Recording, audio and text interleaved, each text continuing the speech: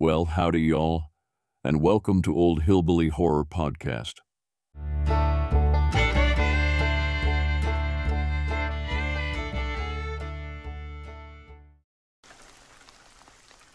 Growing up in the woods was something different. Let's get this straight. I'm just an average person growing up in the woods. Well, not average, but I am normal to a certain extent. I live out in the wilderness in a large forest reserve in the United States. I've lived with my grandparents with most of my life. I've never really known my parents before this, but nevertheless, to a certain degree, it doesn't matter.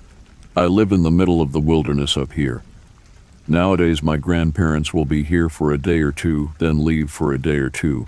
The length and time they stay and go varies, but in the summertime, I only have a handful of friends that are even remotely able to come hang out with me. I live in a very remote area of the place where I live, and all you can see from where I am is mountains and trees. The closest town is around four miles away, and all it really is is a small shopping center with a general store and such, but that's about it. Some gas, some food, nothing special. Oftentimes I get the cabin to myself. It's not exactly an old wooden cabin if you're thinking about it. It's actually very nice. It has four bedrooms and three bathrooms. It's practically a lodge, but all it's missing is a garage. Our cars park in a sort of tent thing. It's just a bunch of wooden poles holding up a sheet metal roof. Because of this, during the winter, we'll often be stuck inside our little cabin for days, weeks, and every once in a while months. I've learned to go hunting, melt ice into water, and basically become self sufficient from my grandfather.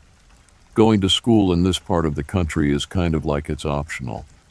For the sake of keeping us secure, I'll use different names for my friends in future stories, so don't try and come find us. The woods are a strange place. It's like they're their own giant sentient being. My friends Thomas and James would occasionally head down to a nearby creek a few miles from my house. It was a large creek, almost a river, but it was nothing we couldn't handle. Oftentimes during the summer, we'd go out for hours without our cell phones and go explore. We all had cell phones, but there's practically no reception out there unless you're directly inside one of the houses, so most of the time they were just useless. Thomas and James were my best friends ever since I could practically think. We all lived within a six mile radius, a tiny distance considering the size of most of the town. Thomas lived closer to me, so he'd often come over if I was stuck at home. More often than not, we'd sit down in the lounge room and just watch old movies that my grandparents had. Our cabin had a large glass window across the front wall, so you could always see into the distant wilderness. One time, a few years back, Thomas, my friend David, and Jasmine were over. It was raining and my grandparents were out for a few days.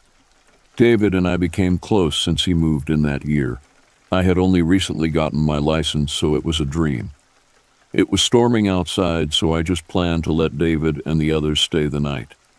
It was dark out already, maybe around 10, when the four of us were sitting upstairs in the lounge room watching Stand By Me, one of mine and Thomas's favorite movies. We were watching it when we heard a large clanging nearby the garage area. Originally, I shrugged it off as wind blowing over the trash cans or raccoons tipping them over until I heard the crash of metal against the building. Despite the rain outside, I knew the wind outside wasn't nearly that powerful to lift the trash enough to smash it into the cabin. I got up and managed to convince Thomas to come with me as I walked towards the outside. Before I went downstairs, I entered my grandparents' room and took the shotgun just in case it was a bear or something. Thomas took the fire poker and walked behind me, scared as a bat when I came to the front door. I looked outside and saw nothing yet. I counted to three before I opened the door to go outside. This wasn't the first time I had to deal with a bear digging through my trash. F bears and shit. Anyway, Thomas and I go outside and scope outside the area. The rain was lighter than I thought it was as the pitch black sky caked the entire yard in darkness. Thomas and I move forward towards the trash can. I know you're not supposed to keep your finger on the trigger, but on that moment all I could think about is getting that bear away from me. I hated bears ever since I was young. They scared the shit out of me, but I never felt this fear before. I turned the corner with Thomas and found one of the trash cans lying on the ground. I sighed in relief as Thomas looked shocked, looking past the trash. I noticed this, so I asked him what was up. What are you looking at? Don't you see it?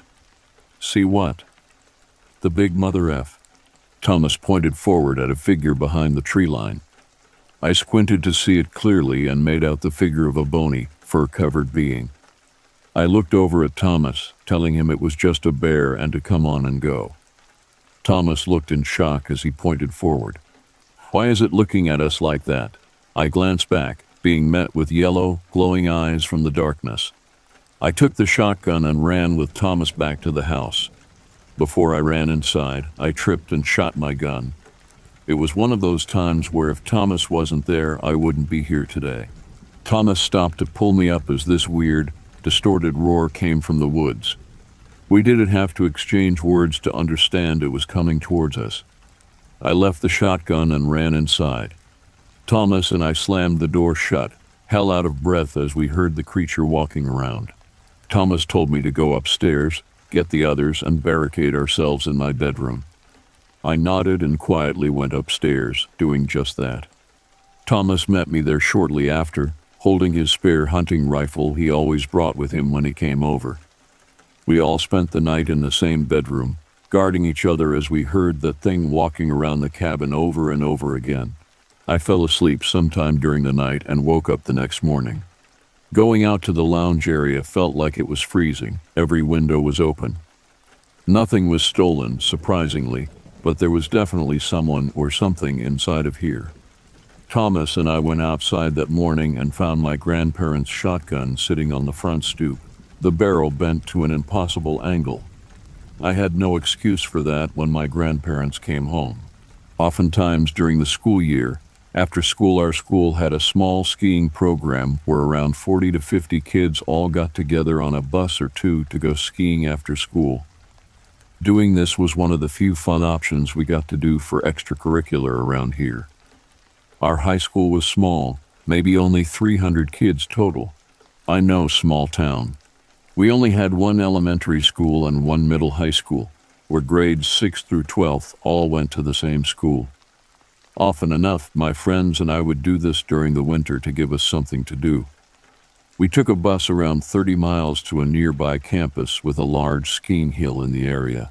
The town was an entire campus town. Everyone was connected to the college in some way around there. Often, James and I, along with some of our friends determining the circumstances, would all go skiing together. The mountain wasn't all too big, but the trails were certainly long. Each run would take 10 to 15 minutes to reach the bottom. On this particular occasion, I was with my friend James. Not a lot of my friends liked skiing, so often enough it was just James and I. It was a few years ago when we decided to go with the bus after school. After a relatively short ride, we got off the bus and got our equipment on. We skied for a couple hours with little event. It was just beginning to get dark when James revealed he had a little bit of dope on him. In my high school years, we were what you would call the stoners. James would always get weird shipments, usually just weed, but it would get us off our ass. James pulled me aside and told me he wanted to smoke a joint or two and asked me to come with him. Me, being a teenager that wanted to get high as well, agreed to come with. We skied off the path a little ways until we were in a place where we thought we wouldn't be noticed. It was slightly past the ski mountain border, so we knew no one would come looking for us. James took out the wrapping paper and rolled us both a joint. We made sure we weren't going to be seen, so we took off our skis and sat under a little overhang of leaves and logs that we made the previous winter. We began talking about what teenagers talk about girls, video games, our home life, all that shit. As it got darker, James pulled out some candles and lit them getting us a little bit of light to wrap more weed. After a while, we decided that we'd finish up the last joint and head back, since it would be around an hour when the bus left back to the school. James and I began packing up when an odd noise came from the woods. It didn't sound like from an animal or anything, but more robotic, like a broken drill on a low battery. James caught on quicker than I did, alerting me to the noise, If we were sober, we would have most likely hightailed it out of there as soon as we heard it. But like dumb high teenagers, I thought it would be a good idea to go find the noise. James agreed to come with me as we had already packed up what we had and set it on the path. James and I both took a candle, walking off towards the noise. The closer we got, the more prominent the noise became, although never growing louder. We walked further into the woods, maybe 50 feet, when we realized we must have passed it as the noise became more soft. We began searching around for the noise using our candlelight. Back then, we never brought our phones on such journeys. We always just brought our watches and wallets to go explore. James walked close towards this evergreen tree as suddenly the snow below it suddenly fell. James fell into a tree well as I heard him yelp in surprise. I ran over and looked down, and I shit you not, there was just a square hole. It must have been a trap door as I looked closer, seeing the reflective patch on James's jacket. I called out to James to see if he was all right. James replied for me to come down there.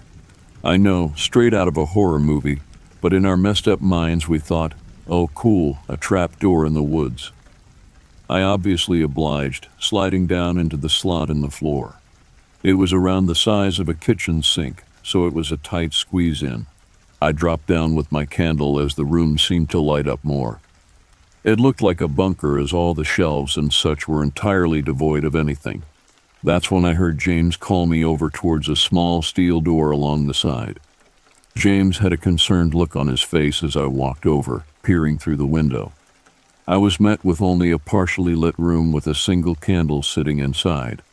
It looked like a meat locker room with several rotting animal corpses hanging on meat hooks. I'm so glad the door was shut because I could only imagine the smell. By then I was sobering up a bit more and realized how messed up this was. I called over to James that we should leave when I hear the familiar buzzing again. I look over and see James rushing back towards the hatch, climbing out as fast as he can. Seeing James react like that is rare. Usually he was the calmest person in the group, so seeing him run, so afraid, I chased after him, scrambling after him. The two of us ran towards our skiing equipment up on the ridge where James was hastily putting on his skis. I asked him what happened that spooked him like that. What James told me shook me up.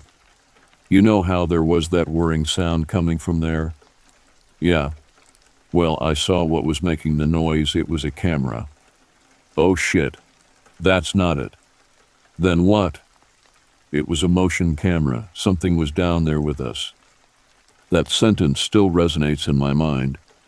We weren't the only ones down there, and I'm so glad I didn't find out what was down there with us. I know it's not the scariest story out there, but it's something that stuck out to me.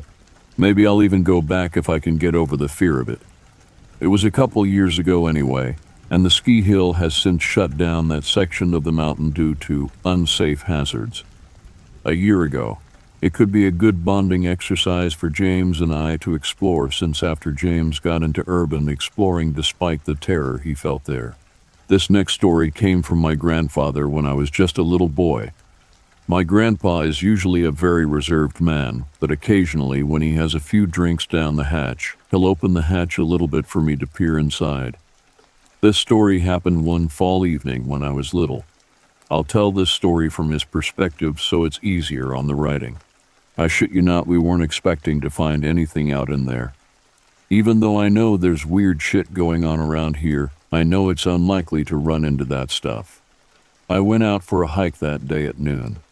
It was the type of fall where everything was beginning to turn red and yellow, but still warm during the day. God, it was a nice day.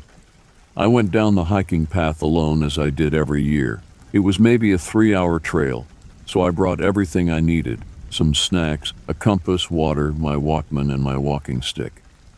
I went down the path with relatively no incident until I was maybe three fourths of the way down. Most years I'd see the occasional deer or fox or such, but this time was different. It felt as if everything in the woods had cleared out. Not even a bird chirping or crickets, just the occasional breeze from the trees.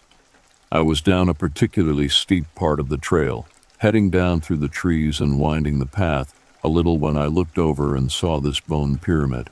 I shit you not, it looked like someone had spent hours making sure it all stuck. On top was most likely a moose skull, but it was odd. All I can remember was the antlers were just weird, bent in an odd shape, and the skull was just built wrong. It was too long and slender to be a normal moose. I saw this and began to move quicker. There was no debris or anything on the thing, so I knew whoever or whatever did this was nearby. I moved quicker, not rushing, but I was unsettled nevertheless. Now, before I go any further, let me just say my family is a firm believer in the creatures of the night, like Bigfoot, the Wendigo, Chupacabras. Now that that's out of the way, let me continue. I believe what I found was some sort of ritualistic belonging in the woods. As I continued on, I began hearing this sort of clicking sound, like someone clapping two sticks together. The more I walked towards the car, the more prominent it became.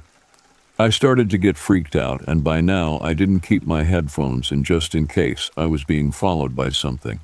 The more I came down the path, the louder the clicking became when I saw the opening of the woods into the parking lot. I rushed over, glad to be near the safety of my car. I rushed out and threw my stuff in the car, never looking back as the clicking remained from the tree line. When I started my car, I looked up and saw this odd looking silhouette of a man but its figure was just wrong.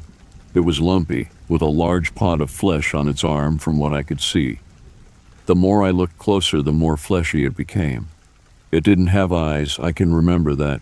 I don't remember how long I stared at it, but it was probably only a few seconds before the shock wore off. I threw my car into drive when I saw its jaw unhinge. It reminded me of an ant eating something, or like a predator mouth from that one movie as it made the same clicking sound I heard earlier. Before I could think, my foot hit the gas and I was on my way home.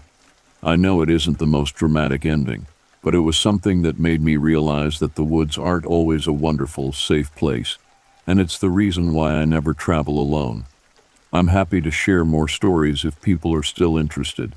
I know it's a lot to ask for, but I'm happy that by telling people some of these stories, people are interested in this topic.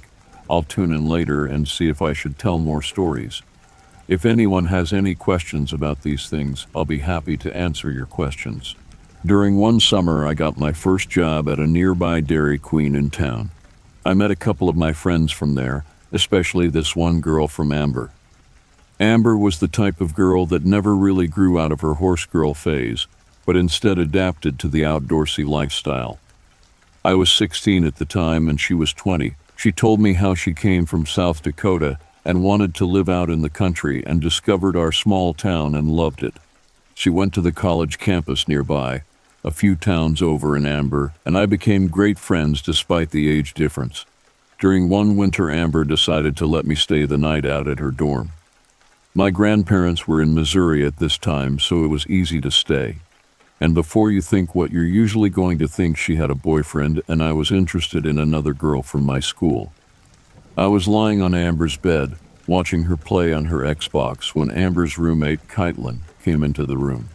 Kaitlin immediately asked if she could take her to McDonald's since by now the buses around town had shut down and since she didn't have a car. After some negotiations, Amber finally agreed, and I hopped down to go join them. We drove down into town at that time. It was around 2 in the morning. I'm not going to lie, I was on some stuff when we went out, so before we pulled into the parking lot in McDonald's, I got out my eye drops and let them go inside before me. I hung back as the two entered McDonald's. We would have gone into the drive through during this time. The building was undergoing reconstruction, so the drive through area was closed. I finished up the eye drops and got out of the car when suddenly I blinked and I was back in the dorm. I'm looking down, watching Amber playing Halo on her Xbox when I was filled with shock. I tried to chalk it up to me being tired and imagining things when all of a sudden Kaitlin walked in again. The entire ordeal played out again, Kaitlin nagging Amber to go to McDonald's, which went on for a minute before Amber agreed. Amber then walked up to me and asked if I wanted to come with her. Me, being weirded out of my mind, said no. I don't know what happened. Maybe it was a brain F up or something, and this isn't particularly scary, but it's definitely something that has messed with my head. Another story I have is from my cousin that lives in Maine. Every once in a while, either my grandparents would go visit my aunt and uncle in Maine with my cousin Mike. Mike was a few years older than I was and grew up also in a remote town up in northern Maine. This story is from when my cousin graduated high school, and for his vacation before starting college, he decided to go on the 100 mile hike with his girlfriend Sam and his friend Aaron with his girlfriend Piper. The four were all outdoorsy people where they all agreed to pack their gear and head out. They packed two weeks' worth of supplies in their backpack, had a friend drive them to the head of the trail, and dropped them off. The first few days in the woods were relatively uneventful, although having encounters with a fox on their second night. On the fifth day, Piper begins telling the group that she's been hearing footsteps walking around the campsite during the night when everyone was asleep. She assumed it was one of us until we told her in the morning we had all slept through the night. We originally played it off as a raccoon or bear or something when we found a human footprint in the mud. Or at least that's what they thought. A bit uneasy, the four of them quickly packed up and headed off. Another night went by uneventfully. On the seventh night, when they were just getting ready to stop walking and set up camp, Mike saw a weird creature lying on the ground. The body was half decomposed with maggots squirming around it. Its skull and part of its chest was exposed. Its skull was almost like an elephant skull if you've ever seen one. Elephant skulls have a large hole in the center to make it look like a cyclops when all the flesh is eaten away. Mike tried to write it off as a moose with a facial deformity when Aaron noticed that all the legs were missing except one, which had almost like a human foot. Upon further inspection, it looked as though a large human foot had been burned on as a replacement for a hoof or whatever was originally there. The group decides to head a little further during the darkness and to not talk about it for the rest of the trip to not scare them. By now, Sam was shaking in fear and wanted to leave right away. Mike and the others set up camp a few miles away on a ridge overlooking a relatively small lake surrounded by wilderness. Sam and Piper were having trouble sleeping, so Mike and Aaron took shifts staying up to watch the campsite and keep the campfire lit while they slept, which seemed to ease them. Around what most likely was 3 4 in the morning, Aaron was on watch when he hears a twig snap in the woods. Aaron looks up and sees this huge humanoid figure just standing in a nearby clearing, maybe 200 feet away. Aaron woke Mike up to look at the creature, and as soon as Mike wakes up, the yellow eyes appear on the creature and darts off back into the woods. Mike and Aaron stayed up until the sun rose, hearing weird grunting sounds coming from the woods every couple of minutes or so. Aaron is convinced that it's Bigfoot while Mike believes it's someone messing with them but it wouldn't make sense. They're still around 30 miles from the end of the journey, and it wouldn't make sense for someone to just wait out there just to F with someone. The moment the sun rose, the group packed up. Mike and Aaron both agreed to not say anything to not scare the girls. The next night was relatively uneventful as they all decided that they would finish the trail by the next day. That morning, they wake up to find that the same dead animal carcass they had seen days prior had been laying on the path forward where the end of the trail would be. The group, understandably freaked the F out, decide to jog most of the way back. After walking a while, the group is tired and Piper says she's going to go take a leak further in the woods. The group gets out some food for lunch when Piper comes rushing back. She has a shocked expression on her face. We ask her what's wrong when she explains for us to come see with ourselves. Our stuff is all out, so we decide to leave our stuff behind to go look. Stupid, I know. But they head off just over a small ridge and find this deer carcass literally turned inside out. It literally looked as if someone took a small slit into the deer and used an ungodly force to flip the deer inside out, to have all the organs spill out like a meat slushy. Sam immediately throws up from the smell as the rest of the group look in shock. The group immediately heads back to find in the minute or two they were gone their stuff had been raided through. Mike decided that this was enough and that they were getting out of there tonight. Mike packed up what was left, since a lot of their food was gone, and got the group to head on forward. The group reached the end of the trail when a forest ranger immediately greeted them. The forest ranger said that the trail was closed for the time being since they had found some hazards. The group went home as Aaron did some research. Apparently, a dead body was found in a creek a few miles. Let's just say that most of the others aren't that big of long distance camping anymore. Aaron recently tried looking up the original news report, though, but was unable to find the article. Sometimes things are covered up because if people knew that shit, I don't think anyone would ever do another journey like that. Growing up in a small town is a strange ordeal. Everyone seems to know each other very well, and the only new people we get are people on long road trips or family coming to visit us. Like I said, I live in a very small town, yet I love it. Towards the west end of town, we have some farms growing. Although most are cattle farms, there are the occasional place where they grow corn, wheat, whatever they can really. There's this old farmhouse that had been abandoned since the 1970s after a supposed murder that happened there although it's most likely that the family moved out, and that's what rumors spread. Anyway, when I was little, my cousin Mike and a few of my friends would come over, and we'd hop on our bikes. I remember this was a special occasion since Mike was there. This is the reason we went over there. Mike was the leader of our small gang when he was around, and everybody listened, no question. We went down the dirt path, and Mike stopped the bike. It was around noon when Mike spotted the farmhouse, and I swear to God I can still remember the smug look growing across his face as an idea popped into his head. Mike told us that we were playing hide and seek in the house, since we didn't have much of anything else to do. James and I reluctantly agreed. We were around 8 9 at the time, so we didn't have any judgment against adventure quite at that age. The drew straws, and eventually I was the one that originally had to seek. I sighed and began to count to 90 as I knew they both ran to the farmhouse. 90 seconds passed as I opened my eyes. I smiled as I saw the door wide open to the farmhouse. Those idiots had forgotten to shut it. I thought to myself as I jogged towards the house. I reached the front stoop, heading inside. I remember the boards were so old, I thought every step I took the floor would collapse. I headed inside, seeing the house on the inside.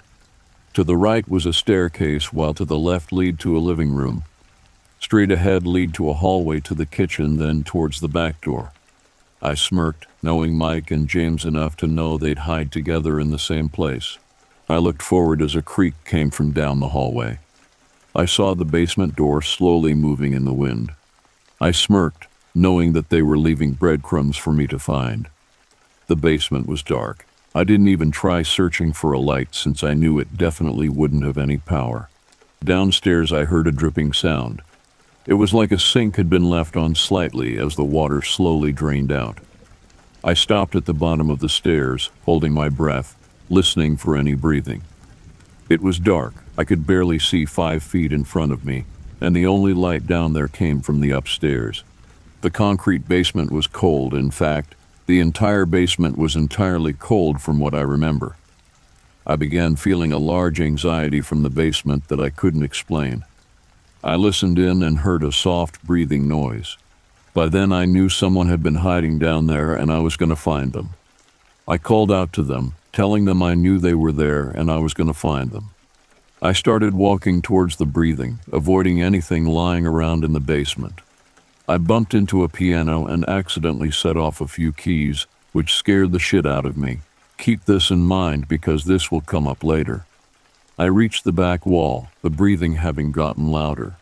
I moved to my right, hearing the breathing louder. The breathing felt warmer as I got closer. I reached out to touch them, calling out to the person when the breathing just suddenly stopped. I didn't hear movement or anything, but I continued moving. I reached the end of the wall, finding nothing. I felt odd when suddenly the piano began playing softly. At first, I thought it was just in my head, my mind playing tricks on me. I focused in as the music began playing more violently.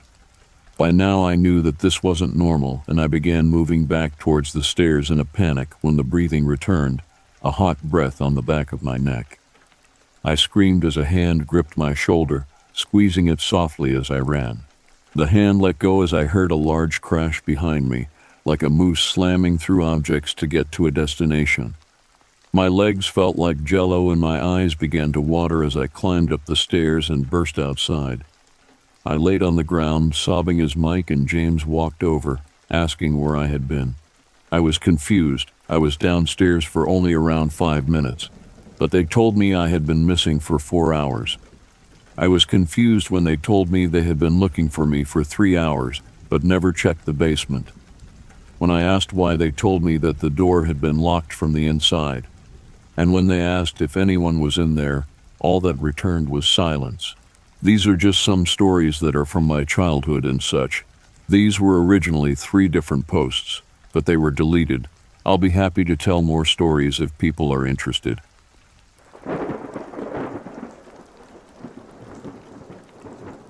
In July 1976, my wife and two children ages 12 and 7, and I moved across the Oregon Cascade mountain range from Corvallis, Oregon to Sisters, Oregon.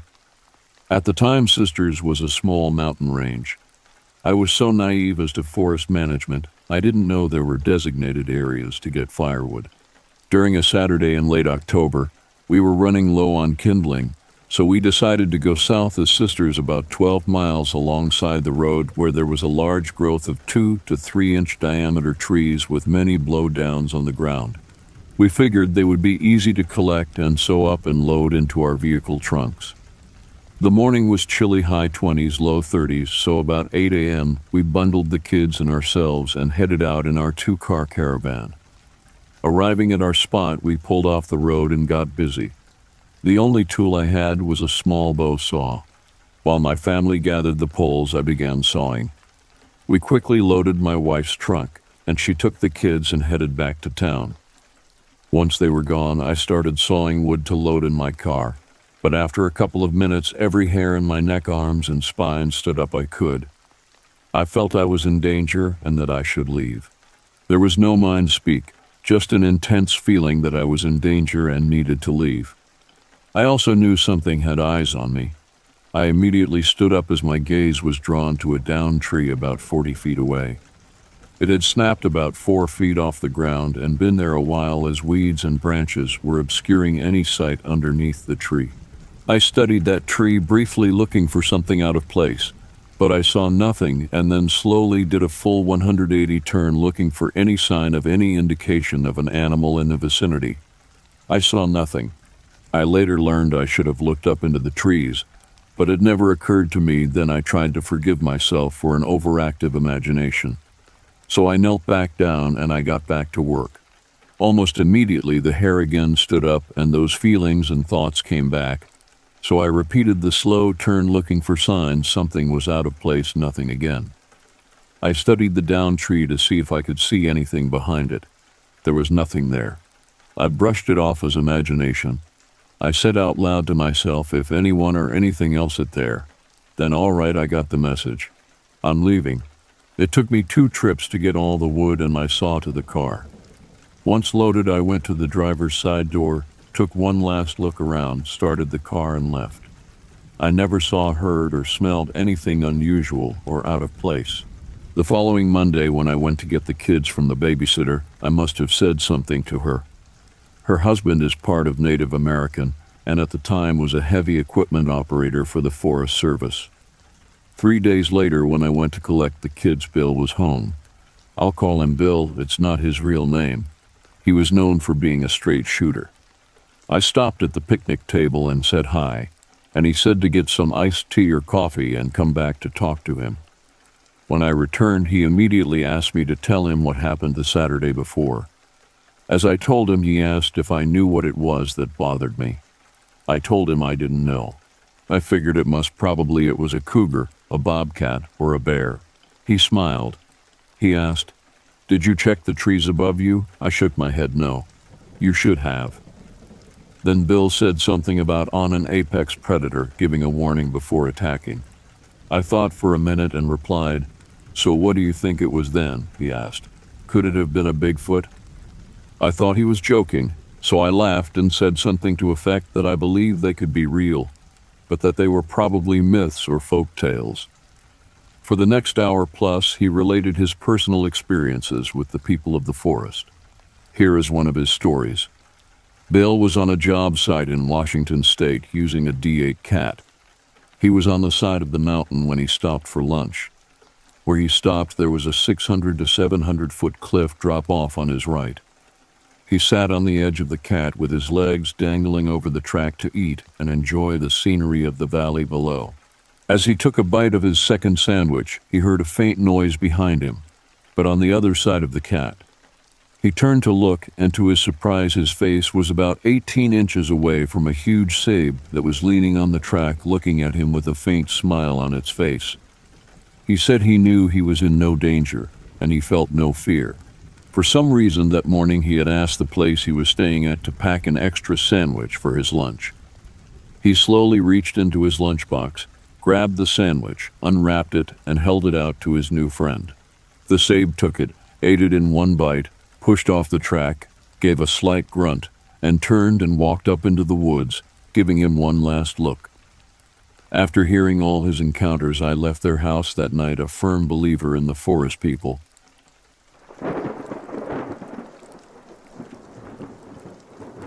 I was on my golf cart by myself, and it was completely dark outside and quiet. I live in a neighborhood surrounded by farmland in rural Michigan, and woods throughout various spots. I was driving but pulled over because this giant beetle was on my shirt. It pinched me and freaked me out. I pulled over next to a stretch of woods and struggled to get it off of me. In the woods nearby, I heard walking, like perhaps a deer walking around, so I wasn't scared. Yet the sounds got louder and closer. The walking had gotten so loud it sounded unreal, something out of Jurassic Park like a dinosaur stomping. The walking had gotten overwhelmingly loud and extremely close, so I slammed on the gas and hurried out of there. I looked behind me but couldn't see anything, but felt shivers down my spine because I swear it was inches behind me. Not sure if this has anything to do with it, but I was talking about skinwalkers with my sister and doing some research, so I hope that didn't invite anything. But I can't even describe how loud the stomping was. It sounded unreal and was seriously terrifying. I wasn't too sure what it could have been, but many people are saying it was probably a wendigo, and I do believe this is. They can get up to 15 feet tall, which would explain why the stomping was very loud, perhaps.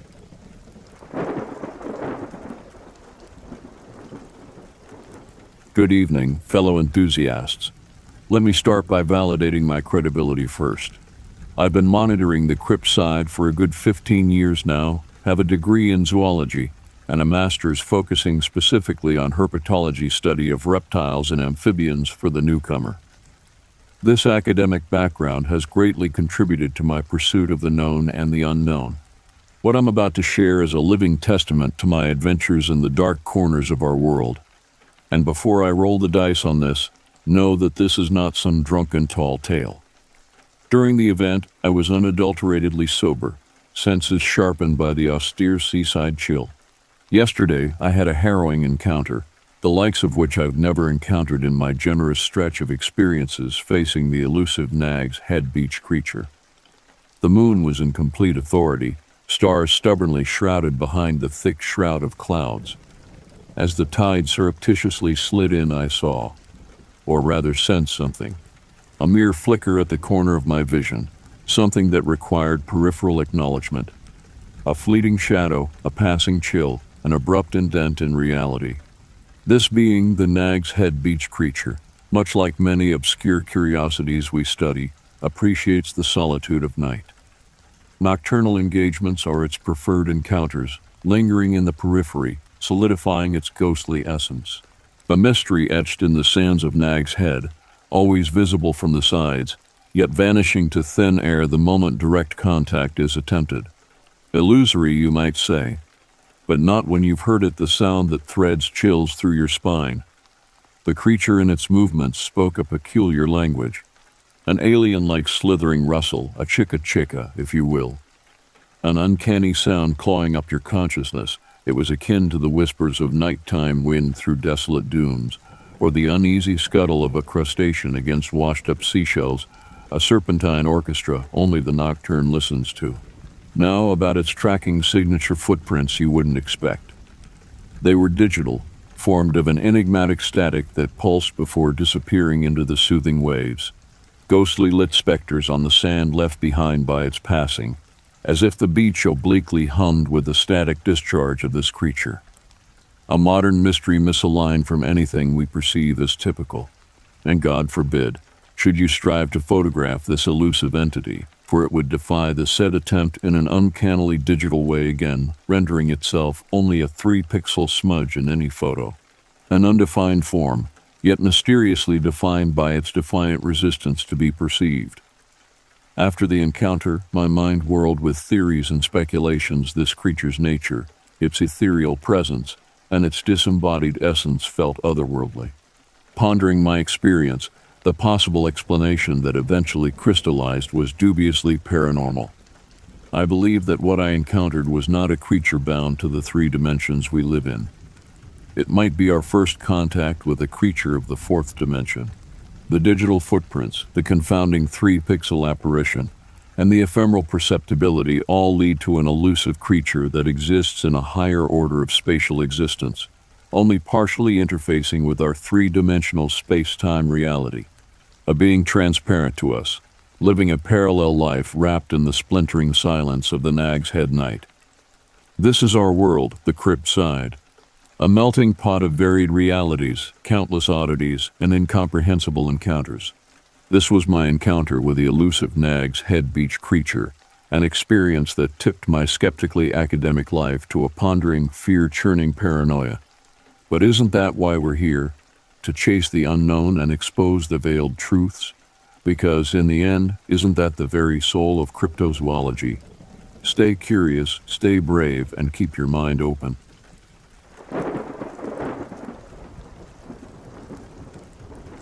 I was a part of Navy SEAL team for as long as I remember. Still, when it comes to my crazy missions, I have one to share. So the mission had taken us deep into the hostile territory where danger lurked in every shadow. Our objective was clear rescue a kidnapped scientist from an abandoned facility with a grim history. Little did we know, the labyrinthine corridors of this place held not only human threats, but a supernatural presence eager to ensnare us in its dark clutches. As we navigated through the decrepit halls, the air thick with tension, the stench of abandonment clung to every corner. Our footsteps echoed through the desolate facility, a haunting symphony of our uncertainty. The scientist's life depended on our success, but something far more sinister awaited us in the depths. It was in the bowels of this forsaken facility that we encountered the unknown predator. About seven feet tall, its muscular frame and large head with long, wild hair gave it an otherworldly appearance.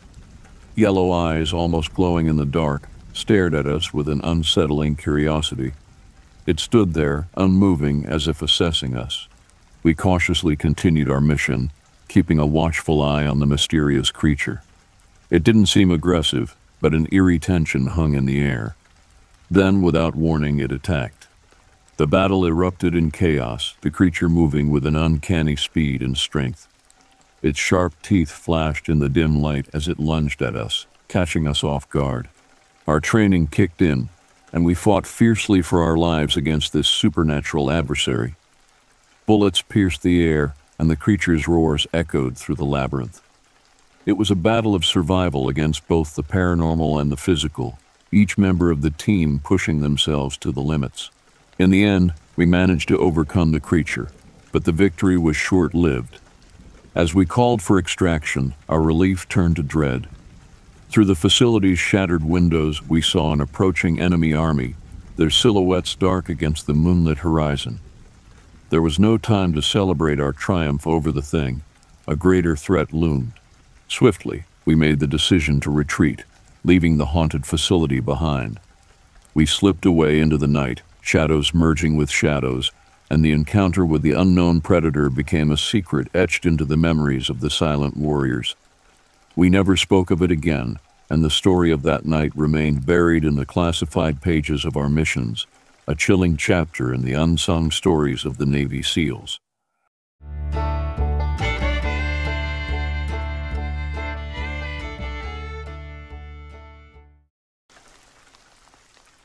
In late August 1986 or possibly 87, I'm not sure which, I drove four friends up from Portland to the south side of Mount Hood to spend three days on the trail that goes round the mountain.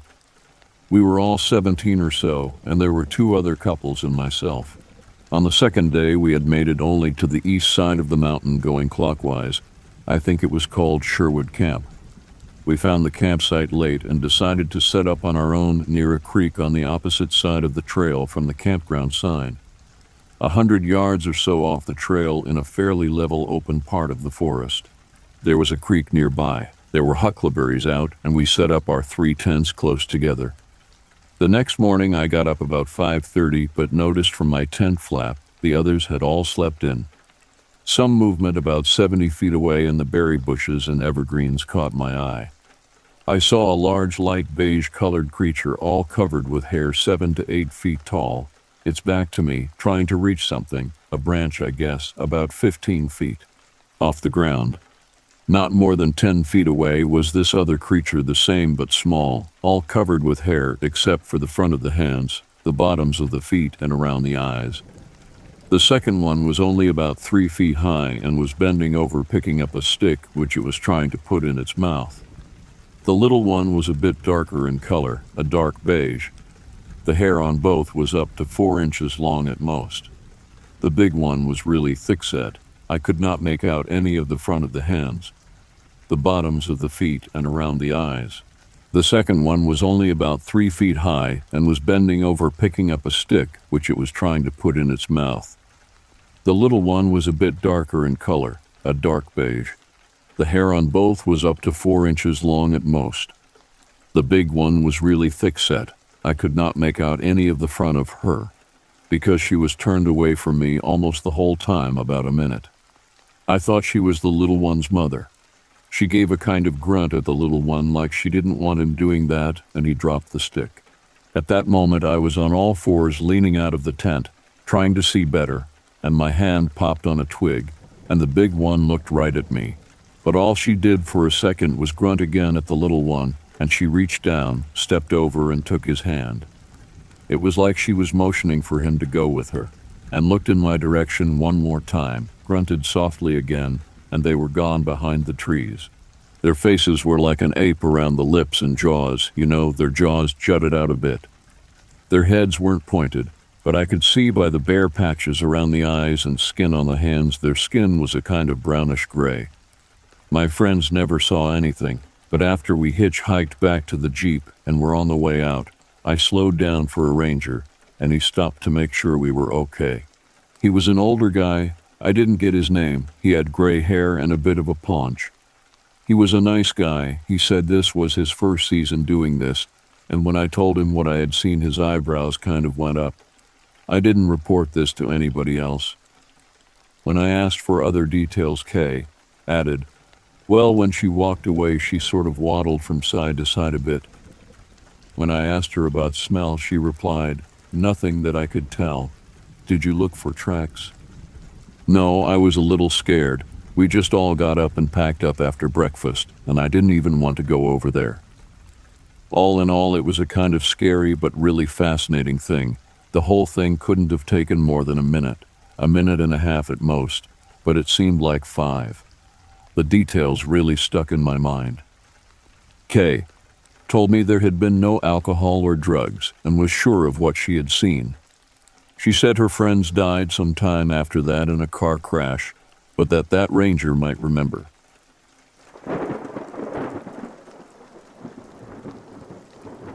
Around a week and a half ago, I was in Ocean City, New Jersey, and it was around midnight. I decided to take a stroll to the beach to enjoy a cigar and relax. As I gazed out over the ocean, I noticed something unusual 14 bright objects that looked like stars. These objects were perfectly round and resembled any other star you'd see in the night sky. However, they were all flying and dancing around each other in a mesmerizing display. Some of them flickered, while most emitted a steady bright light. These objects flew in curves and circles, and at one point they all converged closely before suddenly dispersing in all directions. I looked around hoping to find someone to ask about these mysterious objects, but there wasn't a single soul in sight. I stood there for over ten minutes, captivated by the silent performance in the sky. Their flight patterns resembled how gnats or bugs move, with no discernible order or pattern. These objects weren't like any known aircraft, not helicopters, airplanes, satellites, meteors, or comets. One of them caught my attention when it flew towards the horizon, turned around, and rapidly approached me. It passed right by, flying westward over the beach, the ocean city strip, and finally disappeared into the bay far out to the west. The speed and maneuverability of these objects left me in awe. I contemplated going back to my house to fetch my phone and return to the beach to capture this extraordinary sight, but I feared they might be gone by then. The round trip would have taken too long, and I didn't want to miss anything. The next day, curious to see if anyone else had witnessed the same thing, I searched on YouTube and looked for articles about Ocean City UFO, but to my surprise, there was nothing. No videos, no articles, it seemed like nobody else had seen what I had experienced. This is the first time I've shared this encounter.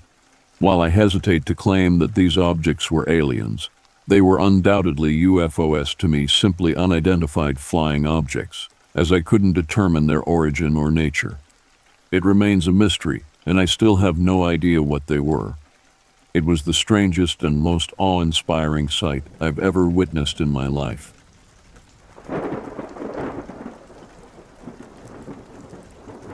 At the age of 11, my family moved to a large two-story house that overlooked some foothills about 30 miles west of Mount Rainier.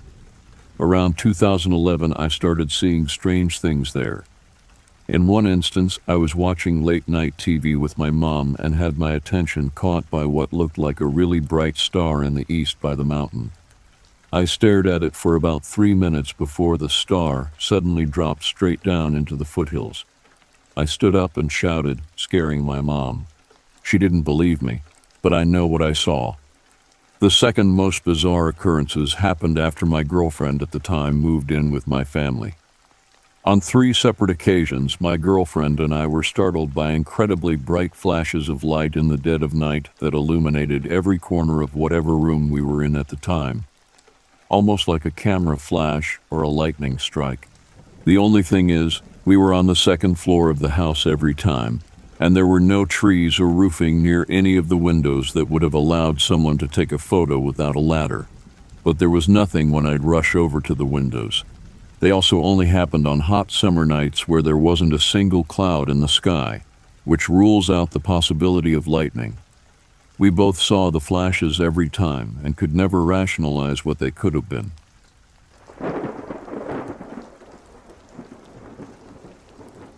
I do some solo rock climbing on Yosemite big walls from time to time. It's not free solo the ropeless slip and dive version, as I'm still roped in and have various safety systems in place, but it's still damned unsettling to be on cliffs alone. Last fall, I soloed a 1,300 feet route on the Washington column called the Prow. It took me three days. The first night was horrific because a severe thunderstorm rolled in.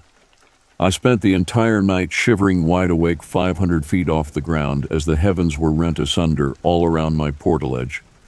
That was downright terrifying, especially considering that I was a bit of a lightning rod with all of my aluminum equipment.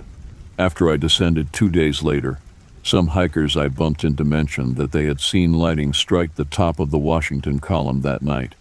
But the most eerie thing I've ever experienced was the whiteout. Between the thunderstorms and pouring rain on the first and second days, the fog would roll in and start to thicken. At its worst, visibility dropped to 15 feet.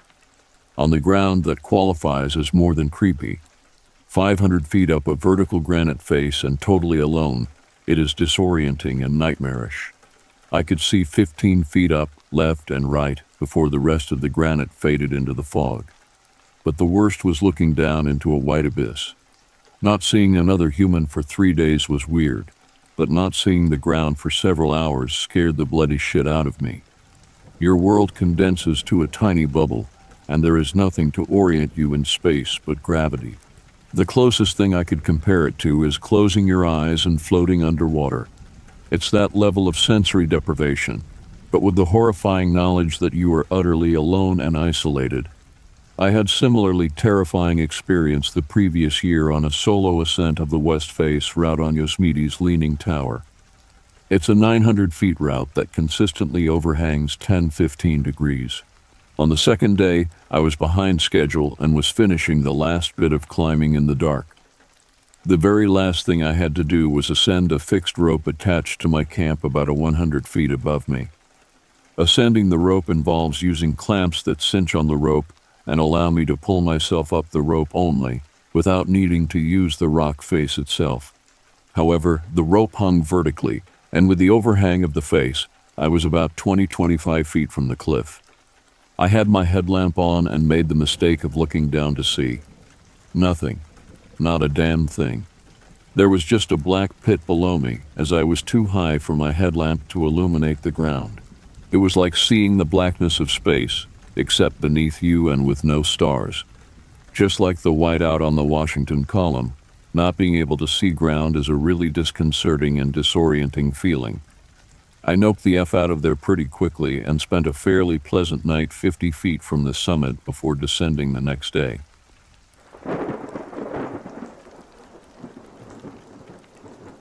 I was in Alaska studying dormant volcanoes as a field geologist, and most of these trips consisted of 30 day solo excursions with a sample drop off every week or two, depending on how remote the survey is.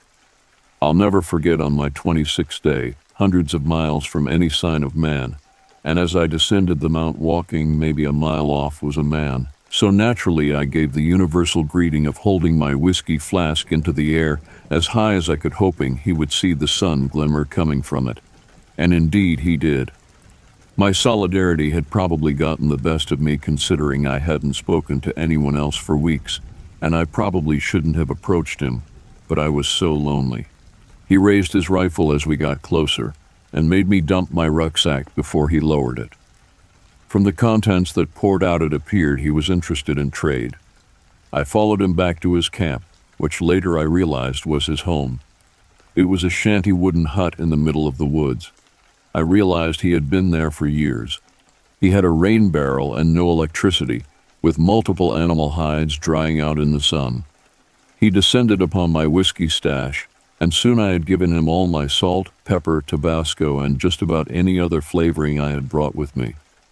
He was fascinated by a small solar panel I used to charge my GPS and phone. He had been in the wilderness so long that the panel only became commonplace after he went off the grid. He had never heard what 9 11 was. Halfway through our meeting, I realized he had a motive behind speaking to me.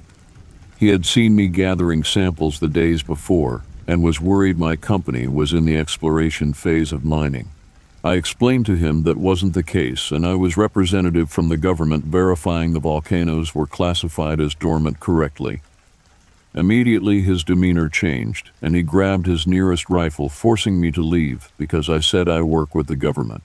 In hindsight, I should have understood a man like this had very little care for government. He walked me a few miles away and told me never to come back and tell my boss the same. I promptly moved on to a new section of my map and marked are the features in the area around his hut as classified correctly.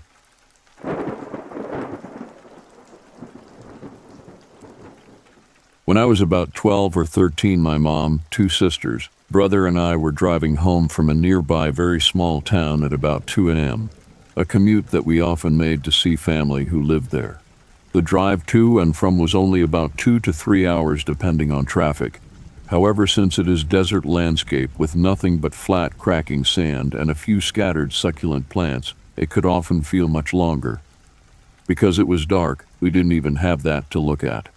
We resorted to playing different road trip games to pass the time. We were all too young at the time to have any entertaining technology, and to keep my mom awake as she had trouble driving at night. After driving for roughly an hour and a half, we crested over a hill where we could see the next larger city in the distance, the city's lights making the overhead clouds glow, and the moon sitting low in the horizon to the right where the clouds tapered off a bit. At this point, we were all completely engulfed in our game until suddenly an insanely bright and basically blinding green flash lit the horizon looking like it burned hot white towards the middle. When I say green, though, I don't mean a green like normal green. I mean a weird, almost toxic and yellowish looking color, but still astonishingly bright. It lit the horizon from end to end as far as we could see, and then disappeared as if being sucked away just as swiftly as it appeared, like when someone covers a light source with their hand. At the same time it disappeared, every single light in the city we could see in the distance shut off at once, like a snap of someone's fingers. This scared me because I had seen power outages, and usually they go grid by grid, not all suddenly together. The weirder thing was that the headlights to the car turned off as well, but not the car itself. My mom pretended not to freak out for the sake of us, but as the oldest, I could tell she was genuinely scared. We kept driving for maybe a minute and a half before everything just popped back on again, like someone plugged everything back in again, not grid by grid like I'm used to. I researched later the next day to see what it could be and saw the green flash phenomenon, but saw that that usually only occurs at sunset. Also tried to see if it could be some sort of power plant thing, but it wasn't that either. Still don't know what it was or what could have caused it as we were nowhere near a military base or testing ranges of any sort.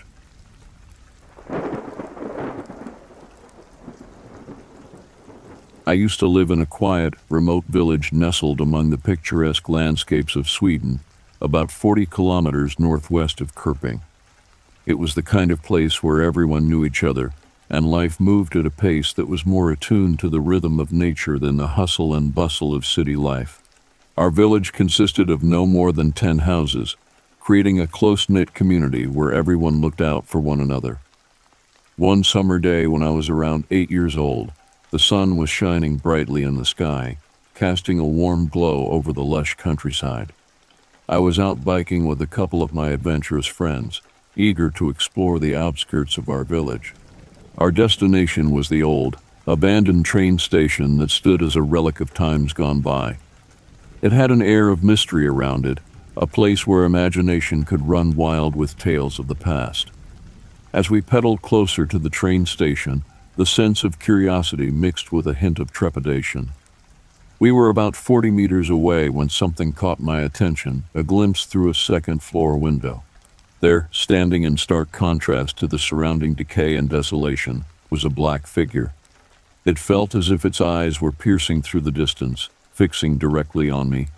I couldn't help but gasp and point, my voice tinged with a mix of astonishment and unease. Look, do you see that? I asked my friends, my voice quivering slightly. They turned their gazes toward the window, their eyes widening in pure terror. Their silence spoke volumes, and I could tell they had seen it too. The figure stood there, shrouded in darkness, an enigma against the fading light of day. We didn't exchange any words, but the unspoken understanding hung heavily in the air we needed to get out of there and fast. Adrenaline surged through our veins as we abandoned our bikes and ran, our hearts pounding in our chests.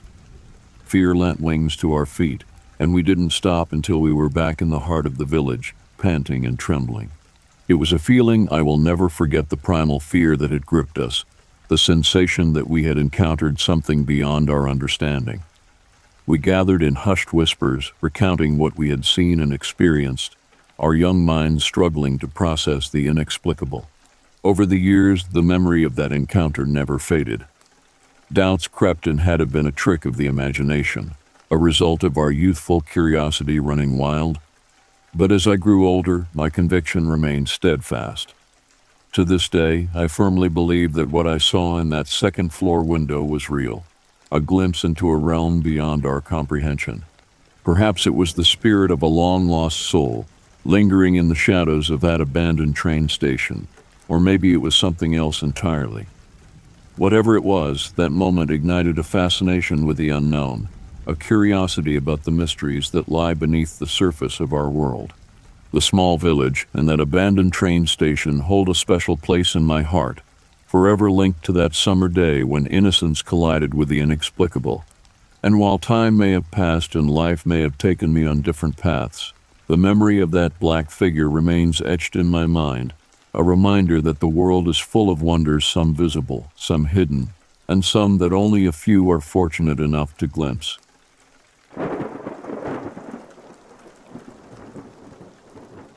My dad and I went on a hunting trip in upstate New York, where it's common to see a bear or two.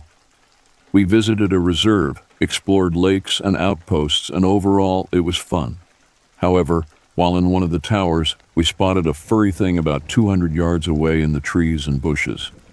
Hunters aren't allowed to shoot off the outpost, so we didn't think much of it at the time. Later, when we set up camp, we heard footsteps around the tent.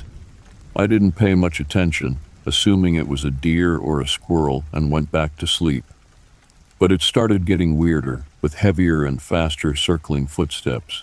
I woke my dad, and we both went outside in our boxers with our guns. However, we couldn't see anything, and the noise stopped. Thinking I was going mental, I apologized to my dad, and we went back to bed. The next day, as we continued our journey, I couldn't shake the feeling of being watched. I felt unsettled, but my dad didn't notice anything off. We set up camp again and saw the hairy thing once more. We watched it for a while until it disappeared, and we went to bed. But an hour or two later, we heard something different heavier, faster footsteps that sounded like multiple beings. Panic set in, and I woke my dad up. We both grabbed our guns, and my dad went outside, shining his flashlight and yelling to scare off whatever was there. I was terrified and had tears in my eyes. We decided to leave immediately, packed up the tent, and started our hike back to the truck. During the hike, we heard knocking sounds all around us, making us even more anxious. We half jogged towards the truck, but my dad couldn't run due to a knee injury. At this point, I was on high alert, ready for anything with my gun in hand, fueled by adrenaline. As soon as we saw the truck, a blood-curdling scream pierced the air, making us run even faster. We drove to the nearest ranger outpost and reported the incident. The rangers mentioned similar reports, and my dad briefly described what he saw a seven, eight feet tall creature with a human face and a hairy body. He said there were four of them, but he doesn't like to talk about it often. Sorry for the long story.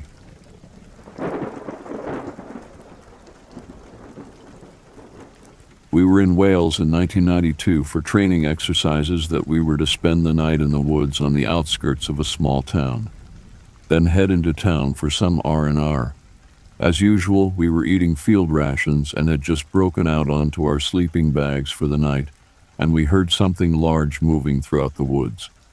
A few of the guys from my platoon grabbed their rifles and went to investigate.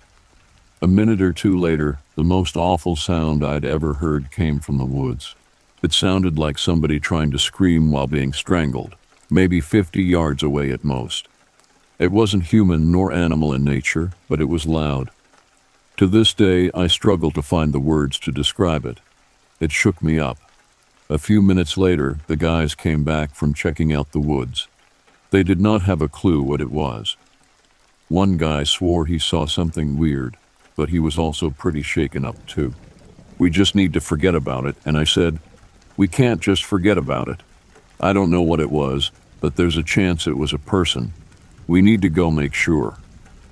The guy who looked just seemed shaken and pale told me, It was no person, I'm telling you. Whoever it was, they're long gone by now. Well, I'm not just going to sit here and do nothing, I told them. If you guys are too scared to go back there, then I'll go check it out.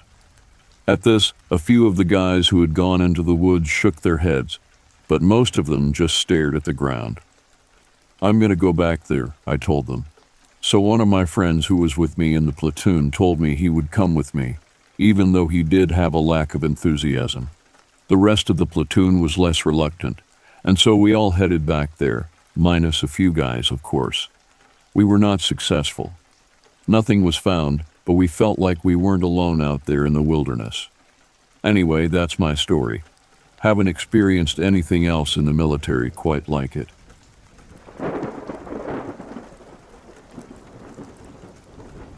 My husband, myself, and our 11 month old baby were spending the weekend at the Oregon coast.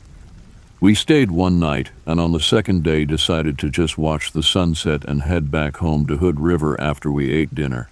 It was pretty late by the time we reached Multnomah Falls exit, and my husband needed to take a break from driving to get some fresh air. We pulled into the parking lot and there were no other cars at all. We parked our vehicle at the west end of the lower parking lot.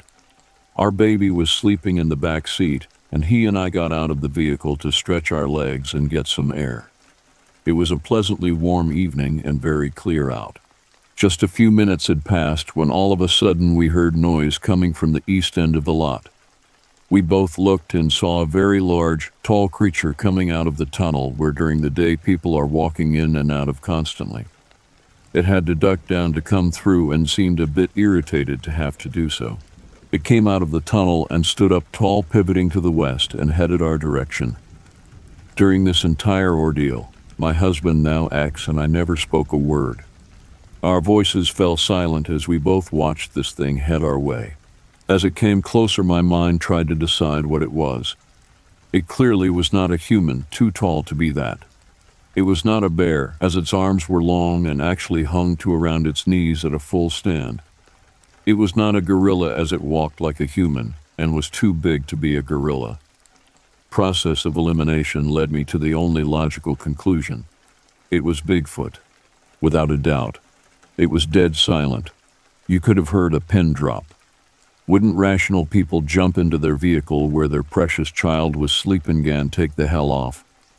Well, to this day, I can't explain the fact that we both seemed frozen on our feet and could not move or speak. At this time, I recall there was no fear. Absolutely none. Anyway, it approached, and as it walked by us about 20 feet from where we stood, it stopped for just a moment, analyzed us by turning its head to look and made a sound and a slightly irritated wave of its right arm. It then quickly lost interest and continued on its way, heading west in the parking lot. We watched in silence as this huge and obviously dark and hairy creature walked up to a cement wall, firmly planted its hands on the wall, and oh so quickly swept its feet and legs right on through as it vanished into the dense forest beyond. Then it was gone. This entire incident lasted only minutes, I am sure but living it seemed to be in slow motion. Once the creature hopped the wall, my husband and I finally looked at each other wide eyed. All that he said at that moment was, Let's get the hell out of here, as we got into our vehicle and took off. It wasn't until this moment that I felt physical fear. I began to tremble uncontrollably. My heart was racing at what we had just witnessed. We drove still in silence for a few minutes and then it seemed that we both at the same moment said to each other, Did you see what I just saw? It was as if we had to confirm it with the other because it was so unbelievable. Yes, we had indeed both seen the same thing, thank God. No one would believe this story. He believed me, and I believed him. He also told me that he had no fear until it was gone, just like me. Not once did we feel threatened by it, though it seemed a bit irritated by something, or did we fear for our sleeping baby in the back seat? Figure that one out. That's my story. I hope you enjoy it. Thank you for giving me a chance to share it.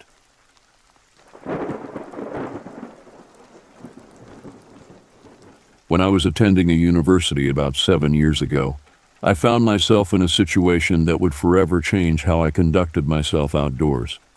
When classes got out one January afternoon, the county I was in was hit with an intense blizzard. While it was pretty typical to get snowstorms every week in the winter months in that area, this one lasted a good few days, and we got so much snow that the school gave everyone a heads up that classes would be canceled on Monday and Tuesday, at least due to predictions of the storm lasting clear until Sunday night. My roommates and I decided we would get our homework done early so that we could spend the weekend exploring some of the thick woods surrounding the campus. Why would 320 somethings be exploring the woods in three feet of snow, let alone howling winds and freezing temperatures? Well, even I think this sounds ridiculous, looking back on it as in grown men. You see, my college was known for its various arts programs that produced a number of gifted writers, painters, and actors. Over the years, many students fabricated stories and false accounts of various bizarre happenings in those woods, ranging from Bigfoot sightings to ghosts and coven activities. We thought the snow would make for an interesting investigatory experience, so to speak. I figured that if there was indeed some supernatural phenomena going on in the woods, we would see things like disturbances in the snow and the natural silence of almost no one being outside in the winter terrain meant that we would hear all sorts of strange noises with no commotion to obscure them. I was generally the reasoner of my group, so no one argued with me. We packed some basic supplies into one of my hiking packs and left just a few minutes shy of noon. Long story short, we accessed the woods from a little known entrance about 50 meters from the parking lot behind the Liberal Arts Lecture Building and hiked about two kilometers into the woods. The scenery was stunningly gorgeous, with the evergreen pines and invasive maple trees saturated with white dusting, and snow covering every inch of the forest floor sometimes high enough to completely conceal the underlying shrubbery. Despite this, the area was rather unspectacular, with only the odd squirrel hopping about and complete silence. Eventually, we decided to hike down to a shallow stream that students referred to as Flinger Creek, so nicknamed for the many students and local residents who would fly fish for brook trout in it during the spring months. There were lots of large rocks along the bank, so we thought we would, you know, roll a couple Northwest Delights and chill there for a bit. Well, we spread an old sheet full of holes and awkward stains on the ground and took our seats, joking about our butts being soaked with freezing snow water and even colder stones digging into our nethers as we tried to keep our hands from trembling as we rolled our smokes.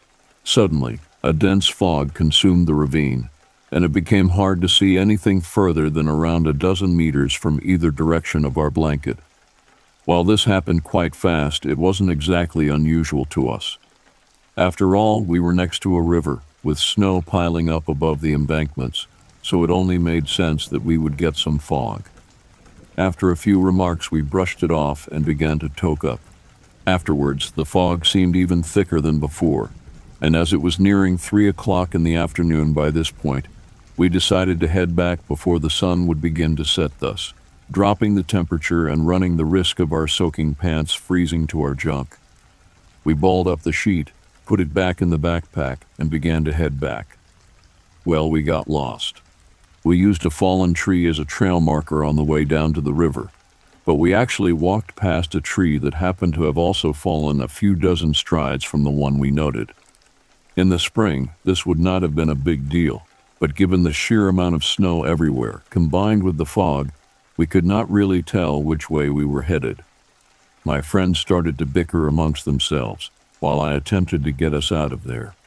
Eventually, I decided I needed a cigarette to relax and regain focus, especially given that it was now nearly four o'clock and the sun was beginning to set.